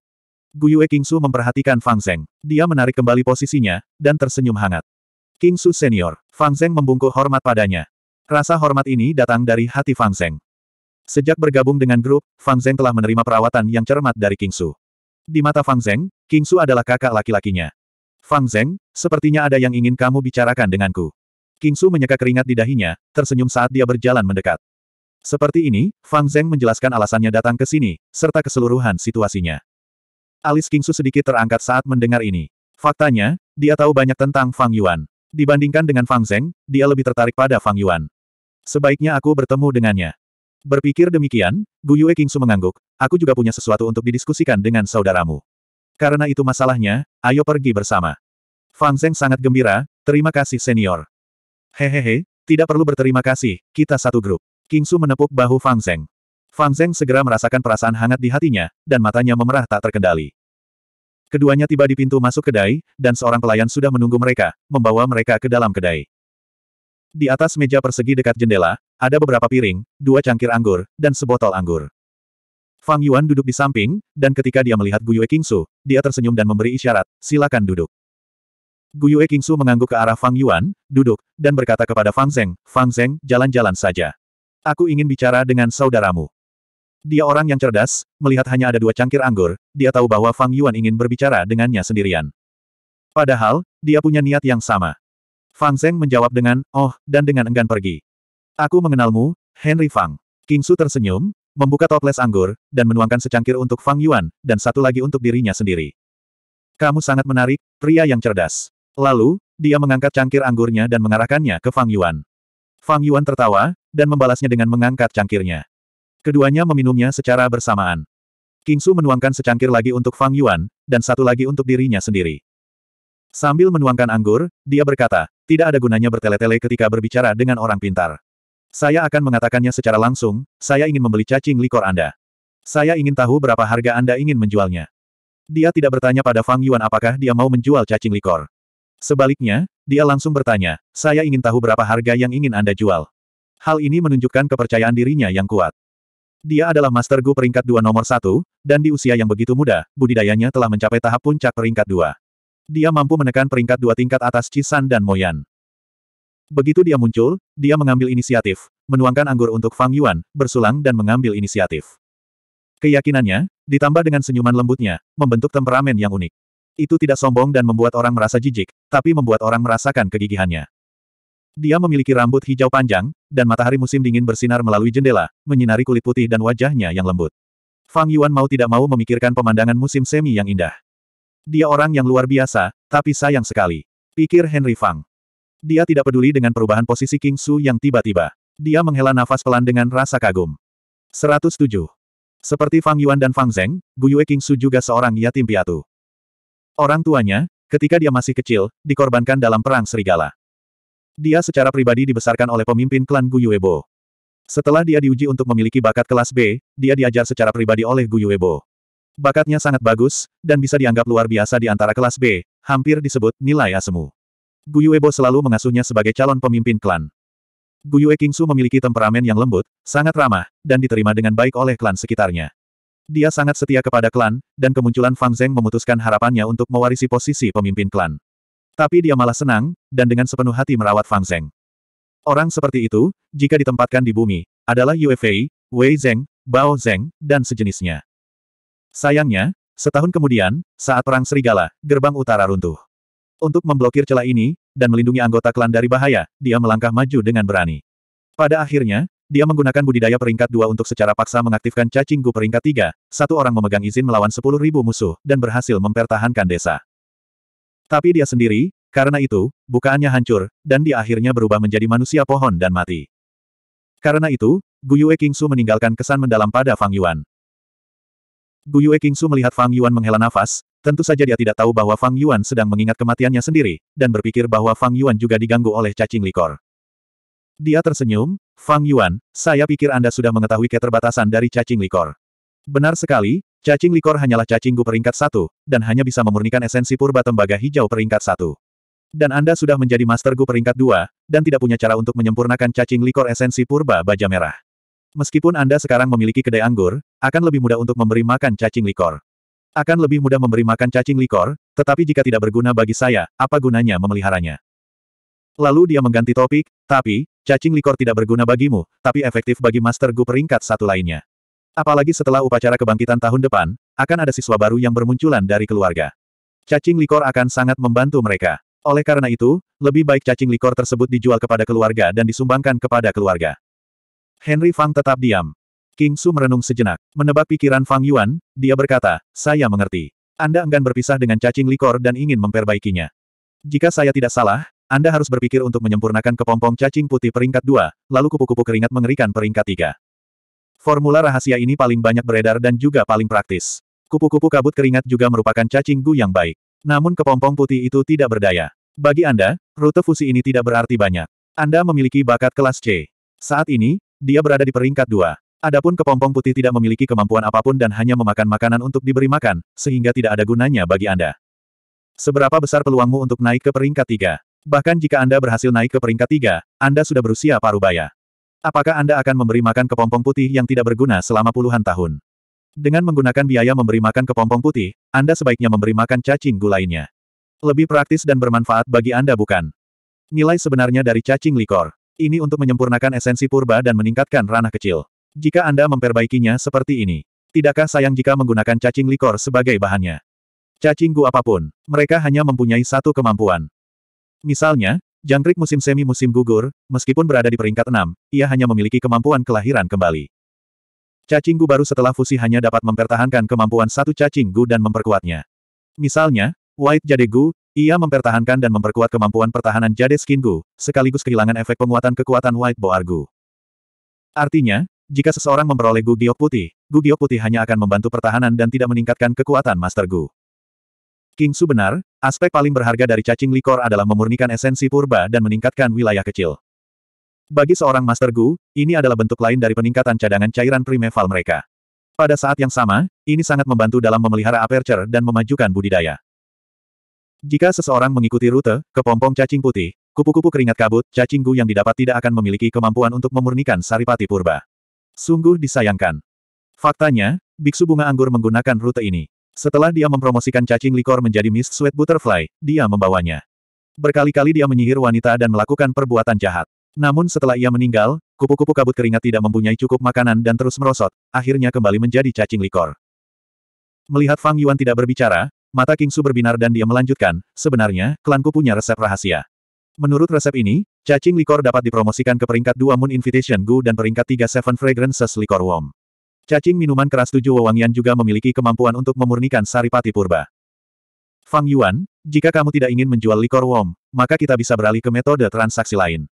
Anda menjual cacing minuman keras kepada klan, dan jika klan berhasil memurnikan cacing minuman keras tujuh wewangian, maka Anda akan memiliki hak penggunaan selama lima tahun. Jika Anda gagal, klan akan memberi Anda sejumlah kompensasi lagi. Bagaimana menurutmu? Menurut metode ini, risiko fusi akan sepenuhnya dialihkan ke klan. Kondisi superior seperti itu, jika itu orang lain, mereka mungkin akan tergerak dan setuju. Tapi Fang Yuan tertawa dingin di dalam hatinya. Dia tahu batasannya. Dengan bakat kelas C44%, naik ke peringkat 3 hampir mustahil. Dalam kehidupan sebelumnya, Fang Yuan terjebak pada level ini selama lebih dari 100 tahun. Akhirnya, secara kebetulan, ia memperoleh bakat membesarkan cacing Gu dan menjadi Master Gu peringkat 3. Hak penggunaan selama lima tahun tampak luar biasa, tetapi bagi Fang Yuan, itu seperti bunga di kabut atau bulan di dalam air. Alasan mengapa Gu Yue Qingsu mengatakan ini adalah karena dia melihat Fang Yuan memiliki ambisi untuk menembus peringkat tiga. Dia sengaja membuang tawaran manis ini, ingin Fang Yuan mengambil umpannya. Tapi sejak awal, dia salah perhitungan. Resep untuk memadukan cacing likor, Fang Yuan memiliki resep terbaik dalam ingatannya. Pertama untuk naik ke peringkat dua cacing minuman keras empat rasa, kemudian ke peringkat tiga cacing minuman keras tujuh wewangian. Entah itu cacing minuman keras empat rasa atau cacing minuman keras tujuh wewangian, keduanya memiliki kemampuan untuk memurnikan saripati purba. Namun untuk memadukan cacing minuman keras empat rasa, tidaklah mudah. Pertama, diperlukan dua cacing likor untuk menyatu, dan Fang Yuan hanya memiliki satu sekarang. Kedua, harus ada empat jenis wine yang diffusion. Keempat jenis wine ini harus memiliki empat rasa yaitu asam, manis, pahit dan pedas. Belum lagi cacing likor yang tak ternilai harganya dan sulit dibeli. Hanya empat jenis anggur ini. Anggur pedas adalah yang paling umum, dan sebagian besar anggur putih adalah anggur pedas. Anggur asam bisa jadi anggur bayi beri merah. Anggur-anggur terasa asam. Anggur manis bisa jadi anggur beras ketan. Tapi anggur pahit, butuh banyak pemikiran. Sejauh yang diketahui Fang Yuan, hanya ada satu jenis anggur hijau pahit, yang dibuat dari mukwat, di desa keluarga Ai. Sayangnya, desa keluarga Ai ini berjarak ribuan mil jauhnya. Bagaimana mungkin? Cacing likor selama ini disimpan di tangan Fang Yuan, bukan karena dia menunggu harga bagus dan ingin menjualnya dengan harga tinggi. Tapi Fang Yuan ingin mengambil jalur fusi ini sejak awal. Jika ada rute lain, Wong Likor akan terbuang percuma. Bagaimana Gu Yue Kingsu bisa mengetahui apa yang dipikirkan Fang Yuan? Dia melihat Fang Yuan tidak mengangguk, dan akhirnya mengeluarkan kartu asnya, Fang Yuan. Jika Anda menjual cacing likor, maka saya dapat memediasi hubungan Anda dengan Fang Zeng. Setidaknya aku tidak akan membiarkan dia menggunakan kekayaan keluarga untuk bertarung melawan Gu denganmu. Anda juga mengetahuinya. Menurut aturan klan, begitu tantangan dikeluarkan, tantangan itu harus diterima. Meskipun itu adalah permintaan pertarungan Gu, jika petinggi tidak menyetujuinya, itu harus diterima. Kalaupun tahu akan kalah, kalau tidak naik panggung, akui saja kekalahannya. Anda harus menerima tantangannya terlebih dahulu. Dunia ini menghormati seni bela diri, dan klan tidak membutuhkan pengecut. Begitu tantangan diberikan, Master Gu harus menerimanya. Menerima itu membuktikan bahwa Anda bukan seorang pengecut. Sekalipun Anda mengaku kalah di depan umum, itu adalah tindakan yang berani. Ini adalah nilai yang terbentuk secara alami di bawah tekanan lingkungan alam yang kejam. Dan petinggi klan akan bertindak sebagai penengah berdasarkan hasil pertarungan Gu, menyelesaikan masalah dan perselisihan. Tentu saja, prasyarat untuk pertarungan Gu adalah pasti ada alasannya. Penantang harus percaya diri dan masuk akal, atau kedua belah pihak harus mencapai kesepakatan yang mirip dengan taruhan, barulah pertarungan Gu akan disetujui. Permintaan Fang Zeng untuk melakukan pertempuran Gu adalah wajar dan harus disetujui. Dengan cara ini, tidak peduli hasilnya, menang atau kalah, itu akan diputuskan oleh tetua klan. Antara Anda dan Fang Zeng, menurut Anda siapa yang akan disukai oleh para tetua klan? Senyum King Su menjadi lebih lebar, matanya bersinar saat dia menatap ke arah Fang Yuan, terus memberikan tekanan, Fang Yuan, jika kamu menang, kamu hanya perlu mengembalikan lebih sedikit kekayaan keluarga. Tetapi jika Anda menjual cacing likor ke klan, itu akan menjadi kontribusi bagi klan. Klan akan mengingatmu. Saya jamin di sini, Fang Zeng tidak akan menggunakan kekayaan keluarga sebagai alasan untuk menantang Anda.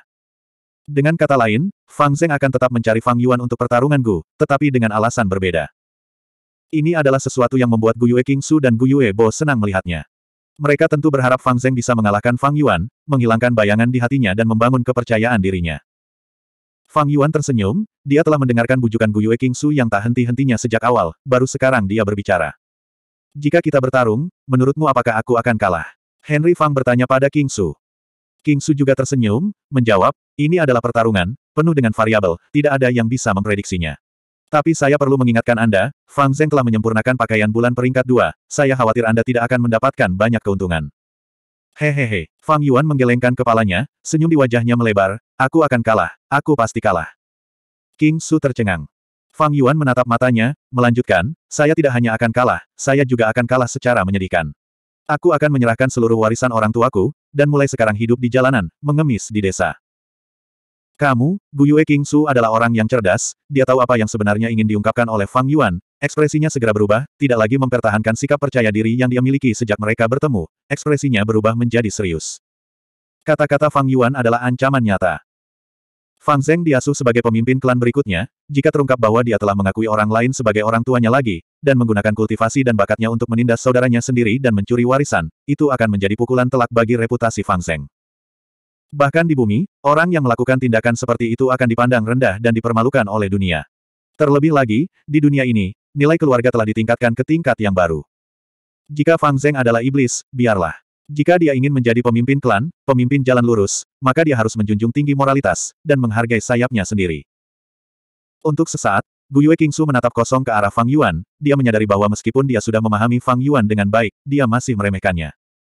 Sejak mereka bertemu, keuntungan yang dia kumpulkan di setiap kalimat, telah runtuh pada saat ini. Kata-kata Fang Yuan sangat tepat sasaran, secara langsung menunjuk pada kelemahan Gu Yue Su. Jika itu orang lain, Fang Yuan tentu saja akan mengatakan hal lain. Tapi dia, Gu Yue Su, sangat setia kepada klan, dia rela mengorbankan dirinya di kehidupan sebelumnya untuk melestarikan klan. Oleh karena itu, ancaman Fang Yuan membuatnya tidak punya pilihan selain berhati-hati. Tapi dia segera tenang, matanya menatap tajam ke arah Fang Yuan, dia mengertakkan gigi dan berkata, tapi kamu tidak akan melakukan itu. Karena warisan selalu menjadi tujuan Anda, jika Anda melepaskannya, bagaimana Anda akan mengolahnya? Fang Yuan tidak takut, dia bertemu dengan tatapan King Su, sudut mulutnya melengkung. Dia tersenyum dan berkata, oleh karena itu, aku yakin kamu juga akan melepaskan ide membeli cacing likor, dan pada saat yang sama membujuk Fang Zheng tidak akan menantangku, kan? Jika itu orang lain, mereka tidak akan bisa meyakinkan Fang Zheng. Namun dia, Gu Yue Su, memiliki kemampuan untuk melakukannya. Henry Fang tidak meragukan hal ini. Adegan itu menemui jalan buntu. Setelah beberapa saat, Gu Yue Su mengalihkan pandangannya, kelopak matanya terkulai. Dia menatap gelas wine di tangannya sebentar, lalu tiba-tiba tertawa. Menarik, kalau begitu mari kita lakukan seperti ini. Ada sedikit nada melankolis dalam kata-katanya. 108. Sehari kemudian. Di tempat tidur, Fang Yuan duduk bersila. Bola cahaya putih besar melayang sejauh satu lengan dari wajahnya, diam-diam melayang di udara. Fang Yuan mengeluarkan potongan batu Yuan dari kantong uangnya dan melemparkannya ke dalam bola cahaya. Cahaya putih perlahan menyusut, tapi menjadi semakin menyilaukan. Ketika menyusut menjadi seukuran kepalan tangan, cahaya putih menjadi menyilaukan, menyebabkan Fang Yuan menyipitkan mata untuk mengamati. Ini harusnya menjadi yang terakhir. Fang Yuan memegang batu Yuan di tangannya, tahu itu adalah momen yang krusial. Dia melemparkan batu Yuan ke dalam bola cahaya. Samar-samar, batu Yuan terlihat mengambang di bola cahaya, seperti es yang jatuh ke air mendidih, terus mencair. Serbuk batu dalam jumlah besar jatuh. Batu Yuan benar-benar lenyap, dan bola cahaya tiba-tiba meledak. Dengan suara lembut, ketiga cacing gu itu melesat ke tiga arah berbeda. Satu jatuh ke tempat tidur, sedangkan dua lainnya terbentur dinding dan jatuh ke lantai. Penggabungan Moonlight Gu gagal. Hati Fang Yuan mencelos. Dia segera mengaitkan jarinya dan mengingat cacing gu. Moonlight Gu dan Little Light Gu bergoyang dan melayang, perlahan terbang ke tangannya. Tapi Little Light Gu yang tersisa tidak merespon. Ia tergeletak dengan tenang di lantai, tubuhnya yang berbentuk bintang berwarna putih susu mulai menghilang secara bertahap ke udara. Dalam waktu beberapa saat, itu benar-benar hilang, tidak meninggalkan jejak. Ini adalah harga dari kegagalan fusi, tergantung pada resep fusi, cacing gu akan terluka. Ketika nasib sedang buruk, cacing gu akan langsung mati. Bahkan dengan pengalaman Fang Yuan yang kaya, keteguhan hati, dan resep yang tepat, masih ada kemungkinan gagal. Fang Yuan tidak berkecil hati, dia sudah melihat hal seperti ini berkali-kali. Dia telah melakukan yang terbaik, tetapi masih gagal. Itu hanya bisa disebabkan oleh keberuntungan. Tapi untungnya, jika bukan karena Moonlight Gu sekarat, Little Light Gu sekarat, saya masih bisa membelinya dari toko. Sangat mudah untuk mengisi ulang. Jika Moonlight Gu mati, saya tidak dapat mengisinya kembali dengan mudah. Dia cukup kaya sekarang, kehilangan Little Light Gu dia bisa membelinya lagi. Selanjutnya, Fang Yuan memeriksa Moonlight Gu dan Little Light Gu yang tersisa. Di permukaan kedua Gu, tidak ada cahaya. Ini tandanya penyempurnaan telah gagal dan Wom Gu itu sendiri telah rusak. Setelah cacing Gu terluka, tingkat keberhasilan fusi akan menurun. Lebih baik menunggu kedua cacing Gu ini pulih sebelum melanjutkan fusi. Fang Yuan tahu bahwa tergesa-gesa akan sia-sia, jadi dia menyimpan kedua cacing Gu itu. Dia memperkirakan dibutuhkan setidaknya tiga hari sebelum dia dapat memulai fusi lagi. Budidaya belum berakhir. Fang Yuan membuka tangan kanannya. Tangan kirinya putih, dan telapak tangannya putih. Ada bekas sehelai rumput berwarna hijau, yang terlihat seperti tato berwarna hijau tua. Sambil berpikir, esensi purba di celah Fang Yuan mengalir keluar seperti kabut merah samar ke dalam bekas di sepanjang lengannya. Tanda hijau segera menjadi hidup. Ujung rumput muncul dari telapak tangan Fang Yuan, diikuti oleh sembilan daun bundar berwarna hijau giok, dan terakhir batang rumput yang tembus cahaya. Adapun akarnya yang tampak seperti akar ginseng tidak terekspos. Di telapak tangannya, tato hijau tua telah menghilang. Hanya tersisa bekas garis hijau tua. Itu mewakili akar rumput, berpotongan dengan garis telapak tangan Fang Yuan. Itu adalah rumput peringkat dua Gu, rumput vitalitas sembilan daun. Pada saat ini, telapak tangan Fang Yuan seperti sebidang tanah, dan rumput vitalitas sembilan daun tumbuh di atasnya, seperti sebuah karya seni indah yang diukir dari batu giok. Fang Yuan mengulurkan tangan kanannya dan mencabut bilah rumput. Setiap kali dia memetik sehelai rumput, Fang Yuan akan merasakan sedikit sakit, seperti sehelai rambut dicabut. Setelah sembilan daun dipetik, Fang Yuan meletakkannya di tempat tidur, dan rumput vitalitas sembilan daun di telapak tangannya dibiarkan dengan batang telanjang. Fang Yuan terus mengaktifkan esensi purbanya. Esensi purba peringkat dua yang berwarna merah samar-samar terus naik dari telapak tangannya, seperti kabut, membungkus batang hijau. Batangnya terus menyerap esensi purba, dan lambat laun, tunas lembut muncul dari bagian bawah batang. Tunas lembut ini berwarna hijau kemerahan, halus dan kecil, dan sangat rapuh, pecah jika dicubit. Fang Yuan terus mengaktifkan esensi purbanya, dan tunas lembut itu perlahan-lahan bertambah besar, warnanya juga menjadi lebih gelap. Akhirnya tumbuh menjadi daun berwarna hijau tua yang sudah matang sepenuhnya. 20% cairan primeval telah dikonsumsi. Fang Yuan memeriksa celahnya dan menyimpulkan. Dia hanya memiliki 44% cairan primeval, yang berarti dia hanya bisa menumbuhkan dua daun rumput vitalitas sekaligus. Setelah menumbuhkan satu batu lagi, Fang Yuan memegang batu Yuan dan dengan cepat memulihkan esensi purba di celahnya. Ketika esensi laut purbanya naik hingga 40%, dia terus menumbuhkan daun rumput yang penuh vitalitas. Mengulangi siklus ini selama setengah hari, rumput vitalitas sembilan daun sekali lagi diisi dengan sembilan helai rumput. Dia tidak lagi memetik daunnya, dan sambil berpikir, rumput vitalitas sembilan daun kembali ke telapak tangan kirinya, berubah menjadi tanda hijau. Dia menyimpan sembilan daun vitalitas di dalam tas kecil dan menyimpannya di dekat tubuhnya. Satu daun vitalitas adalah cacing gu peringkat satu, dan setiap daun bisa dijual seharga 50 yuan batu. Artinya, hanya dengan sembilan daun gu ini, Fang Yuan bisa mendapatkan 450 yuan batu. Tentu saja, Fang Yuan harus mengeluarkan biaya untuk menanamnya. Tetapi bahkan jika dia tidak menghitung biayanya, Fang Yuan telah mendapatkan lebih dari 400 yuan batu. Di antara semua properti keluarga, yang paling berharga adalah rumput vitalitas sembilan daun. Mengontrolnya sama dengan mengendalikan tambang emas. Terlebih lagi, rumput vitalitas sembilan daun ini memiliki kelebihan, yaitu mudah untuk diberi makan. Ia hanya membutuhkan air dan sinar matahari untuk bertahan hidup, sehingga hampir tidak ada biaya untuk memberi makan. Bagi Fang Yuan, dia bisa menyerahkan semua aset keluarga, tapi rumput vitalitas sembilan daun ini, dia harus memegangnya dengan kuat di tangannya. Tentu saja, rumput vitalitas sembilan daun ini tidak hanya dimiliki oleh Fang Yuan saja. Di desa tersebut juga ada beberapa orang yang memiliki rumput gu ini. Bahkan ada lima rumput vitalitas sembilan daun, yang merupakan aset kolektif keluarga. Setiap hari, ada master gu logistik khusus yang menjalankan tugas produksi, dan secara bergiliran menumbuhkan daun vitalitas dalam jumlah besar. Bagi Fang Yuan, ini adalah hal yang bagus. Jika dia satu-satunya yang memiliki rumput vitalitas sembilan daun, maka klan pasti akan bertindak dan membeli rumput gu ini. Sama seperti bagaimana Gu Yue King Su mewakili klan untuk membeli cacing likor miliknya.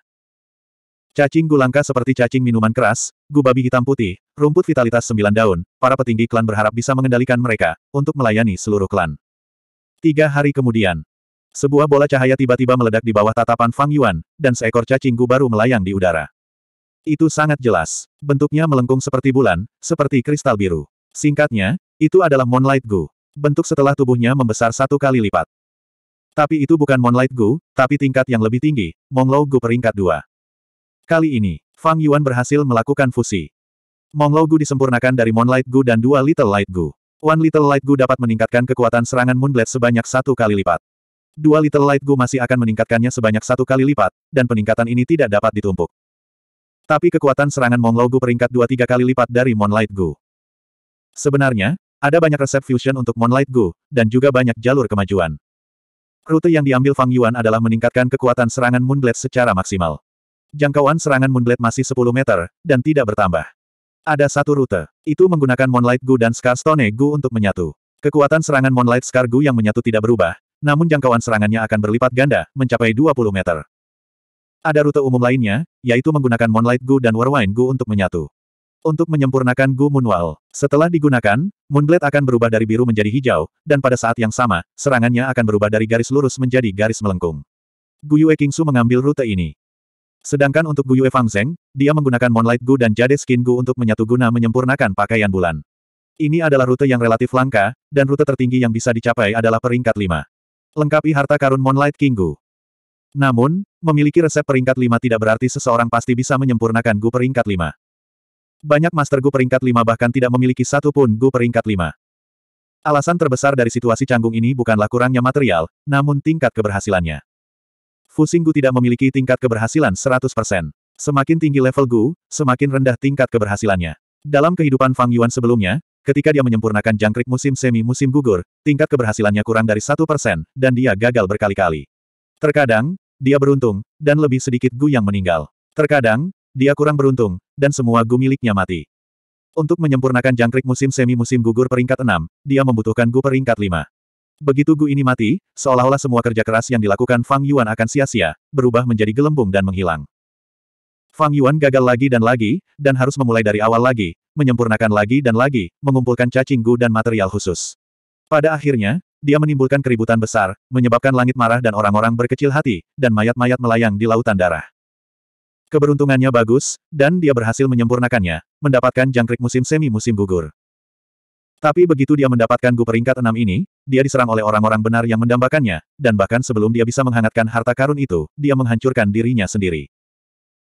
Selama ribuan tahun, tingkat kegagalan yang mengerikan inilah yang menyebabkan banyak Master Gu peringkat tinggi gagal di saat-saat terakhir, dan kembali ke keadaan semula.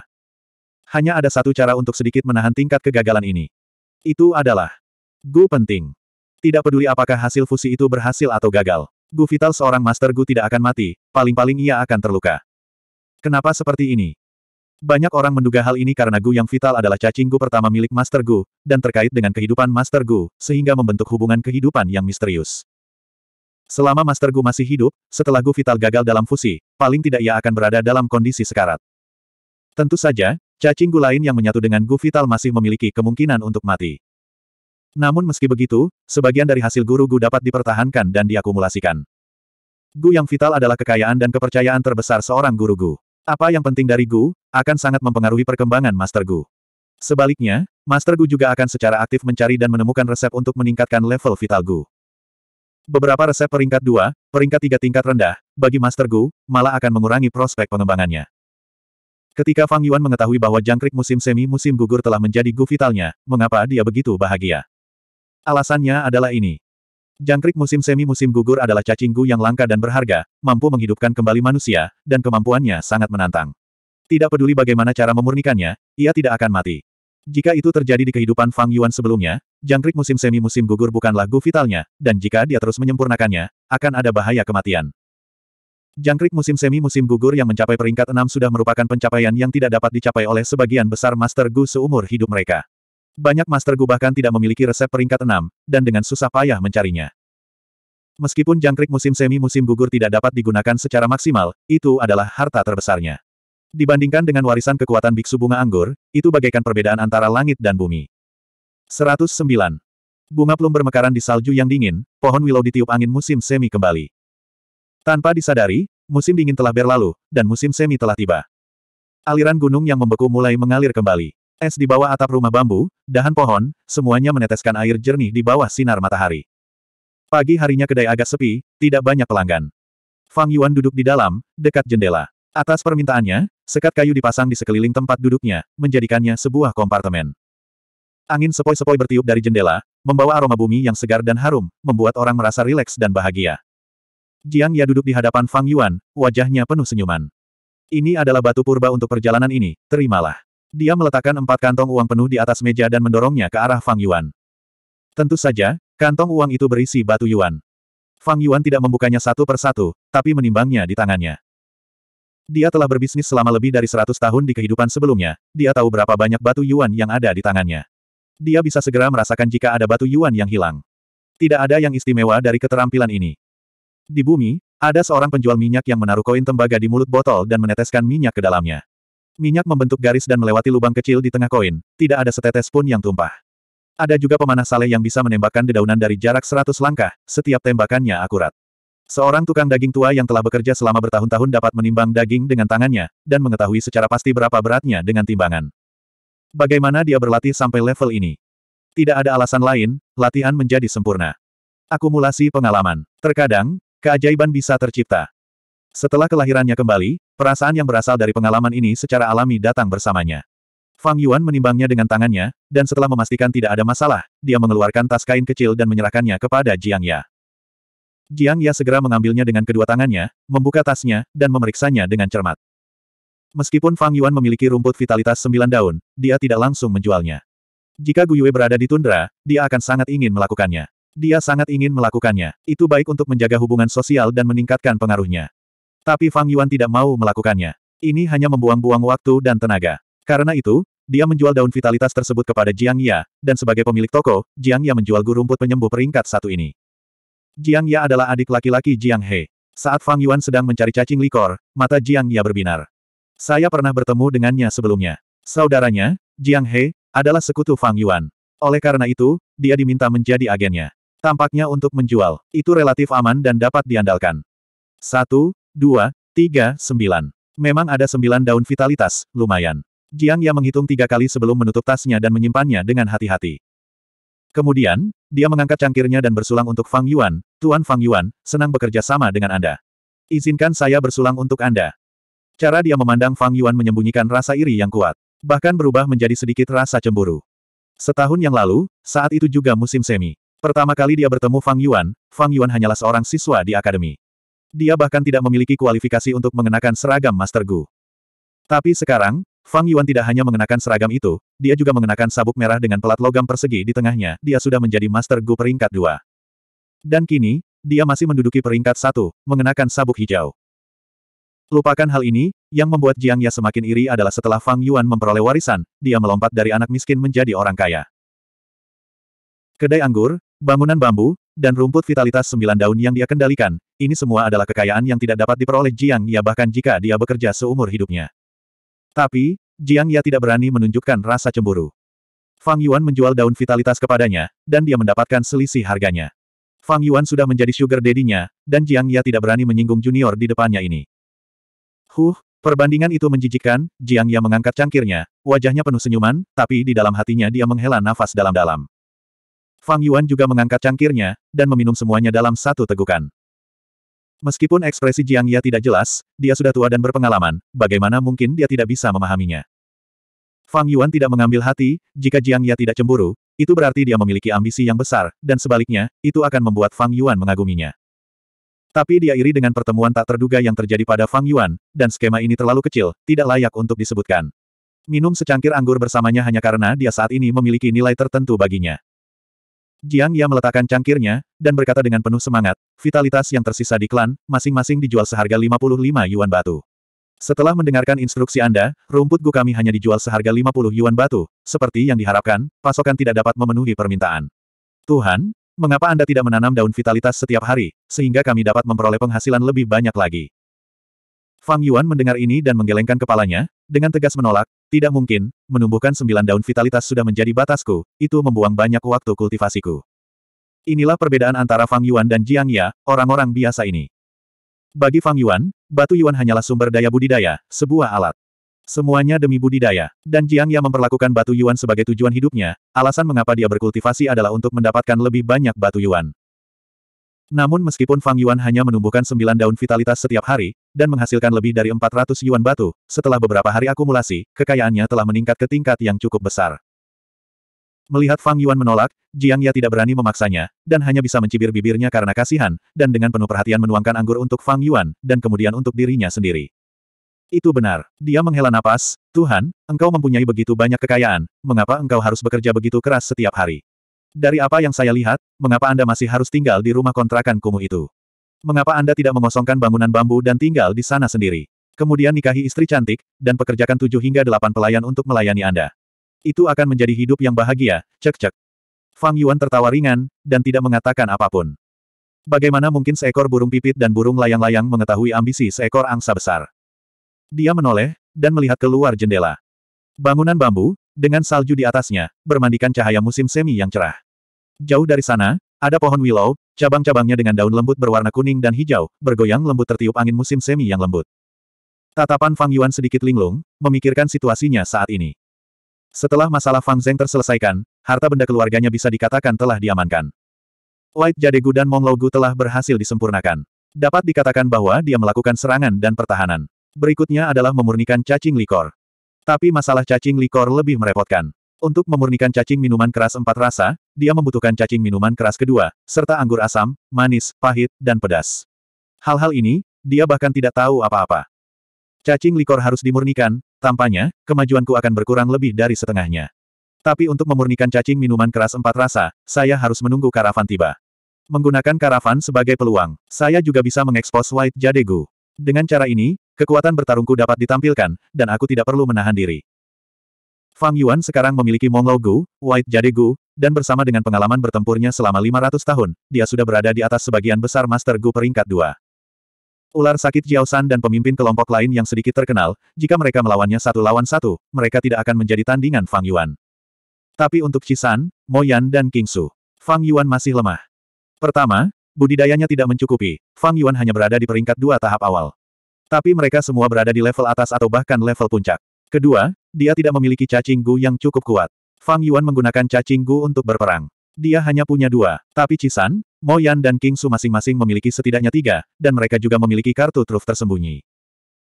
Dan di antara rekan-rekannya, Fang Zheng, Mo Bei dan Ciceng secara mengejutkan mulai menunjukkan bakat mereka. Terutama Fang Zheng, setelah mendapatkan pakaian bulan peringkat dua, dia sudah memiliki kekuatan untuk melawan Fang Yuan. Dan seiring berjalannya waktu, budidayanya akan semakin tinggi. Lambat laun, dia akan meninggalkan Fang Yuan jauh di belakang.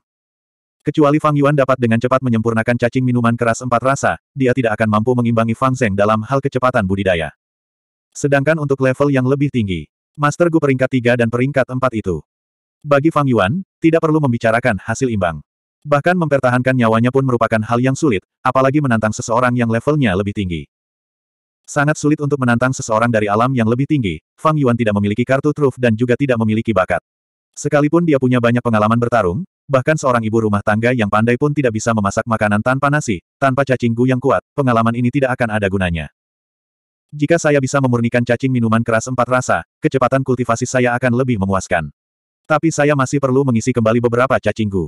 Saya memiliki gu giok putih untuk pertahanan, gu monglo untuk menyerang, dan rumput vitalitas sembilan daun untuk penyembuhan. Saya masih kekurangan deteksi dan pergerakan cacing gu. Meskipun kedua cacinggu ini hanya pelengkap, setelah saya memilikinya, saya dapat menutupi kekurangan saya dan meningkatkan kekuatan tempur saya setidaknya tiga kali lipat. Fang Yuan merenung. Dia tidak perlu belajar langkah demi langkah melalui latihan. Pengalaman hidupnya yang kaya telah membuat dia mengetahui posisi sebenarnya. Suara Jiang Ya terdengar di telinganya, saya mendengar bahwa baru-baru ini, sepertinya ada seseorang yang mencari masalah dengan Tuhan. Secara khusus menyebabkan masalah di bangunan bambu dan kedai anggur yang Anda sewa. Fang Yuan mengerutkan kening, alur pemikirannya terputus. Tapi, Jiang ya benar. Fang Yuan sudah menyelidiki dengan jelas, pamannya, Gu Yue Dongtu, yang menimbulkan masalah di latar belakang. Setelah diperingatkan oleh Gu Yue Su, dia tidak lagi berani menggunakan Fang Zheng untuk menimbulkan masalah. Namun setelah beberapa saat hening, dia dipenuhi dengan kengganan dan kebencian. Dengan menggunakan koneksinya, dia menyewa beberapa Master Gu untuk menimbulkan masalah di tempat Fang Yuan. Pengusaha paling takut dengan masalah seperti ini. Baru-baru ini, dia meluangkan waktu untuk memeriksa tempat itu. Tuan muda, seseorang membuat masalah lagi. Pada saat ini, seorang pelayan masuk ke kamar dengan ekspresi cemas dan ketakutan. Oh, alis Fang Yuan mengendur, mengira dia akan bertemu dengannya hari ini. Tidak menunggu Fang Yuan bergerak, Jiang Ya tiba-tiba berdiri dan berkata dengan penuh semangat, Tuan, mohon tunggu sebentar, saya akan pergi melihatnya. Dia keluar dari layar dan berbalik dalam sekejap mata. Itu Gu Mensi. Wajah Jiang Ya memucat dan berkata dengan suara rendah. Matanya juga dipenuhi ketakutan dan kekhawatiran. Guyu Manshi. Fang Yuan bertindak hati-hati, mengetahui pentingnya informasi. Dalam periode waktu ini, dia telah mengumpulkan informasi tentang semua Master Gu peringkat dua di klan, dan telah menghafal sebagian besar dari mereka. Gu Yue Mensi adalah seorang Master Gu dengan reputasi tertentu, pandai bertahan dan memiliki kekuatan, mengambil peran sebagai pemimpin kelompok Mensi.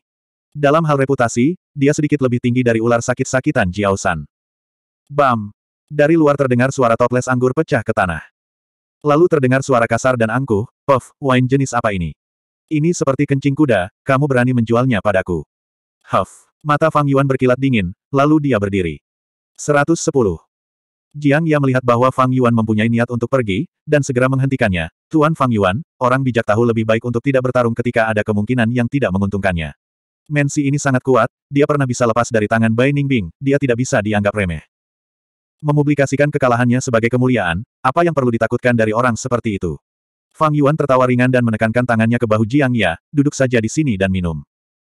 Tuhan, Jiang Ya membuka mulutnya, ingin membujuknya lagi, tetapi dia bertemu dengan tatapan dingin Fang Yuan. Rasa dingin di mata Fang Yuan membuat hatinya bergetar.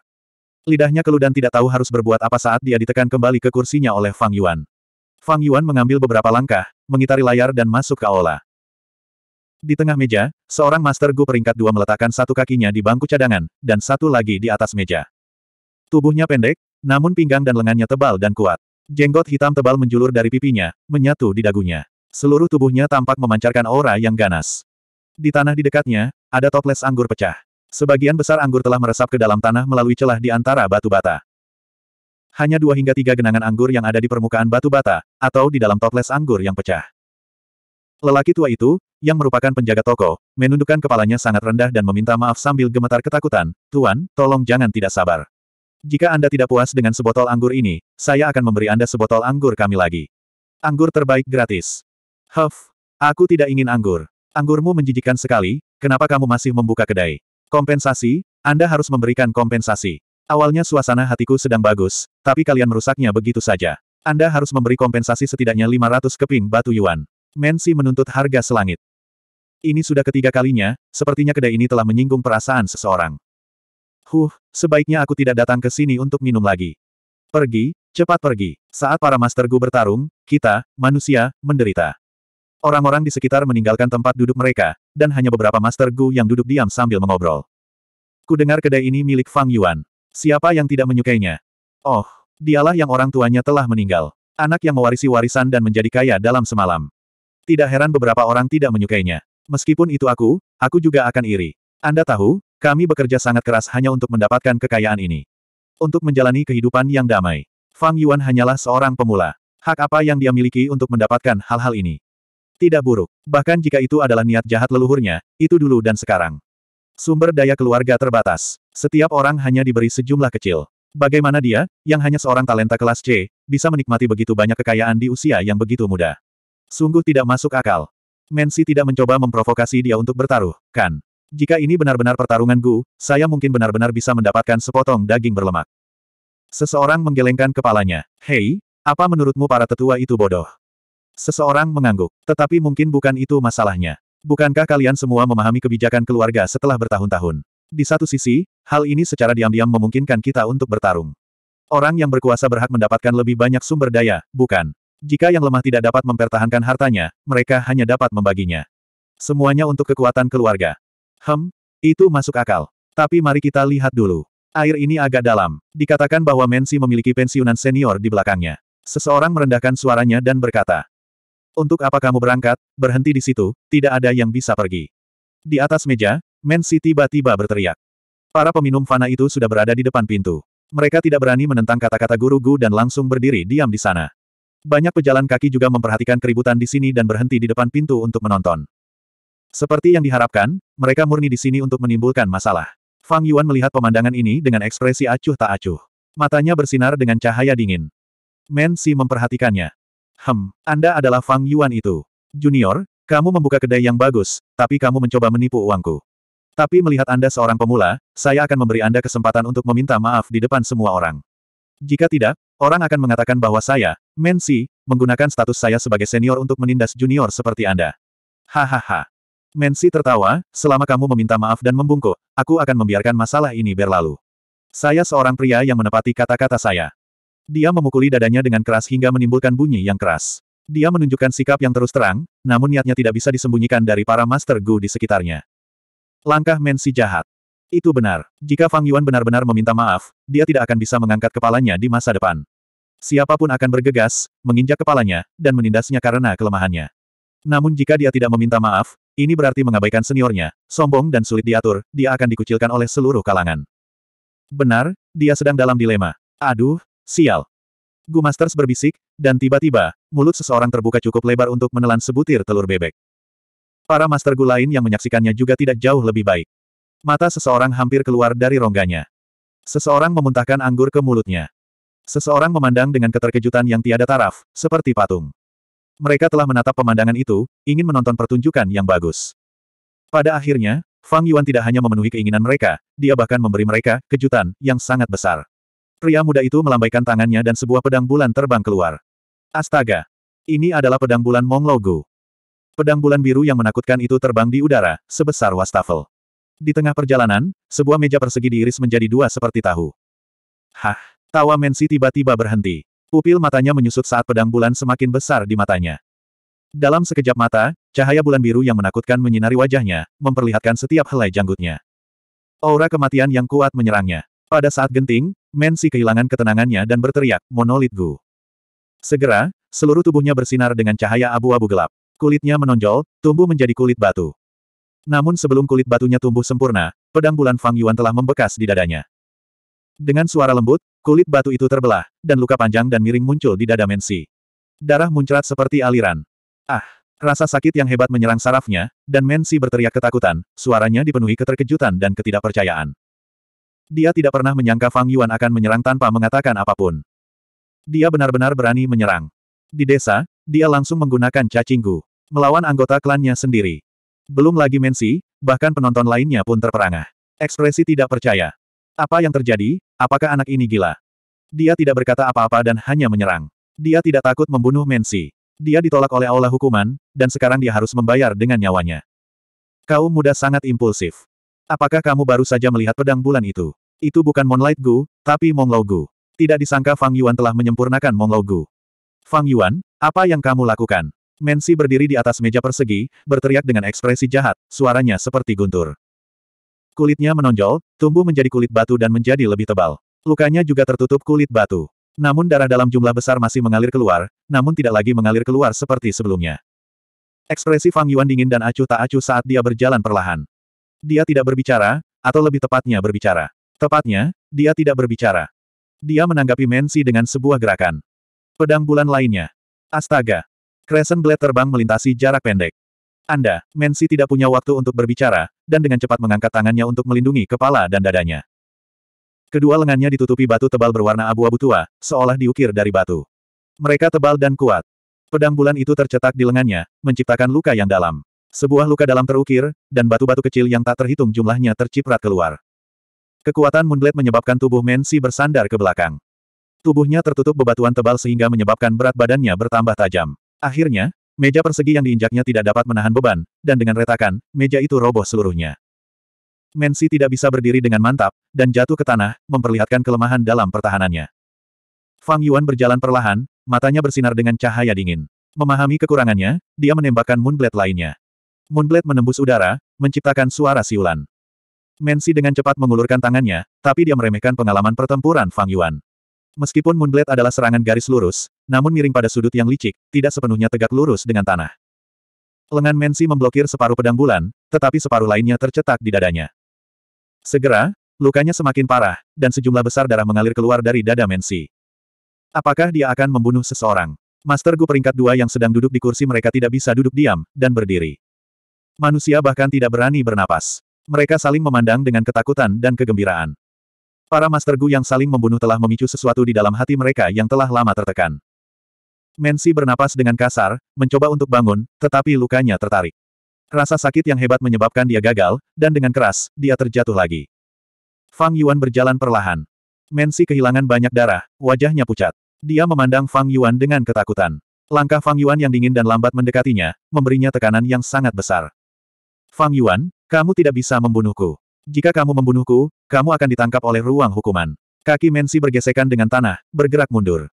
Darahnya mengalir keluar, mengikuti tubuhnya, menggambar jejak terang di lantai bata hijau. Semua orang diam. Semua orang terpana oleh aura dingin Fang Yuan, menahan napas saat menonton. Tidak ada yang merasa Mensi tidak berguna, tanpa gaya apa pun. Jika itu mereka, mereka tidak akan lebih baik dari Mensi. Fang Yuan berjalan di depan Mensi, mengangkat kakinya, dan dengan keras menginjak luka di dada Mensi. Mensi menghirup udara dingin karena rasa sakit. Fang Yuan menginjak tanah lagi, dan Mensi merasa seperti ditabrak oleh babi hutan, menginjak-injak tubuhnya yang terus menginjak-injaknya. Dia tidak tahan lagi, dan menjerit kesakitan. Bahkan dengan perlindungan kulit batu yang tebal, dadanya dihancurkan oleh Fang Yuan, dan darah mengalir keluar dari lukanya. Lebih penting lagi, tangan kanan Fang Yuan ditutupi lapisan cahaya bulan biru yang menakutkan, memadat dan tidak terlepas. Ini adalah tanda serangan Moonblade. Mensi cemas dan tidak berani bergerak. Kamu, kamu tidak bisa membunuhku. Dia menatap dengan mata terbuka lebar, dan berteriak dengan susah payah. Aku tidak akan membunuhmu. Fang Yuan mengucapkan kata-kata pertamanya sejak dia muncul. Nada suaranya sangat tenang. Dalam keheningan kedai anggur, kata-katanya jelas masuk ke telinga semua orang. Tetapi aku dapat melumpuhkanmu, mematahkan salah satu lenganmu, atau mematahkan salah satu pahamu. Menurut aturan klan, saya harus memberi kompensasi kepada Anda dengan sejumlah besar batu yuan, dan saya akan dipenjara. Tapi kamu, kamu hanya bisa menghabiskan sisa hidupmu di tempat tidur, kecacatanmu telah sangat mengurangi kekuatan tempurmu. Anda tidak bisa lagi keluar untuk menjalankan misi. Apakah menurut Anda hasil seperti ini dapat diterima? Fang Yuan menatap Mensi dan berkata perlahan. Sebuah suara dingin memasuki telinga Mensi. Itu membuat jantungnya berhenti berdetak, dan tubuhnya gemetar. Dia membuka mulutnya, dan terengah-engah. Pikirannya menjadi semakin kacau. Kekuatan kaki Fang Yuan membuatnya merasa seperti sedang ditekan oleh batu besar, dan dia merasa semakin sulit bernapas. Sial, sial. Jika saya telah mengambil tindakan pencegahan, jika saya tidak lengah, dan terluka parah sejak awal, bagaimana mungkin? Eh. Suara Mensi tiba-tiba berhenti, karena tatapannya bertemu dengan mata Fang Yuan. Dia berbaring di tanah, dan melihat ke atas. Kelopak mata Fang Yuan setengah tertutup, dan mata gelapnya menatap ke arahnya. Sepasang mata yang luar biasa. Jika dipenuhi dengan niat membunuh, Mensi tidak akan takut. Tapi sepasang mata ini, itu dipenuhi dengan semacam rasa dingin. Sikap dingin ini adalah arogansi terhadap kenyataan, penghinaan terhadap orang-orang di dunia, menginjak-injak kehidupan, dan mengabaikan aturan. Sepasang mata ini, sepasang mata ini, murid Mensi menyusut hingga seukuran jarum, dan kenangan terdalam di hatinya muncul ke permukaan. Itu adalah mimpi buruk dalam hidupnya. Dua tahun lalu, malam diterangi cahaya bulan di hutan bambu. Seorang anak muda berpakaian putih, juga menginjaknya. Sial, Sial, jika saya menyempurnakan monolit Gu, bagaimana Anda bisa menghancurkan pertahanan saya? Kematian sudah dekat. Dia berteriak histeris, dipenuhi keengganan. Oh, karena sudah seperti ini, aku tidak akan membunuhmu kali ini. Bibir pemuda berpakaian putih itu melengkung, menunjukkan senyuman tertarik. Setelah kamu kembali ke desa, berkultivasi dengan baik, dan menyempurnakan monolit Gu, barulah kita akan bertarung. Hehehe, semoga ke depannya bisa menambah semangat dalam hidupku. Mengatakan demikian, anak muda itu mengangkat kakinya, membiarkannya pergi. Mensi bernapas dengan kasar, terbaring di tanah.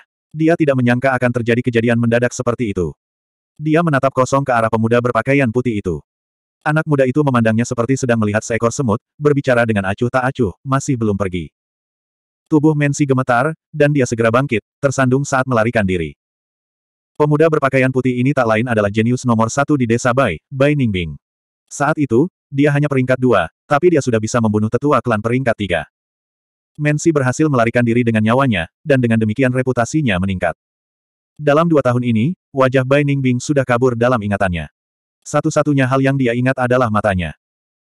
Sepasang mata yang acuh tak acuh dan acuh tak acuh, tinggi dan perkasa, menyembunyikan kebanggaan yang tidak dapat dipahami oleh manusia. Untuk berpikir. Untuk berpikir. Tidak disangka dia akan melihat sepasang mata ini di desanya sendiri. Pada saat ini, hati Mensi dipenuhi ketakutan, Keengganan dan kemarahan di hatinya lenyap, dan dia tidak memiliki semangat juang yang tersisa. Perubahan ekspresi Mensi dilihat oleh Fang Yuan. Anak muda itu sedikit terkejut, tidak menyangka Mensi ini tidak berguna.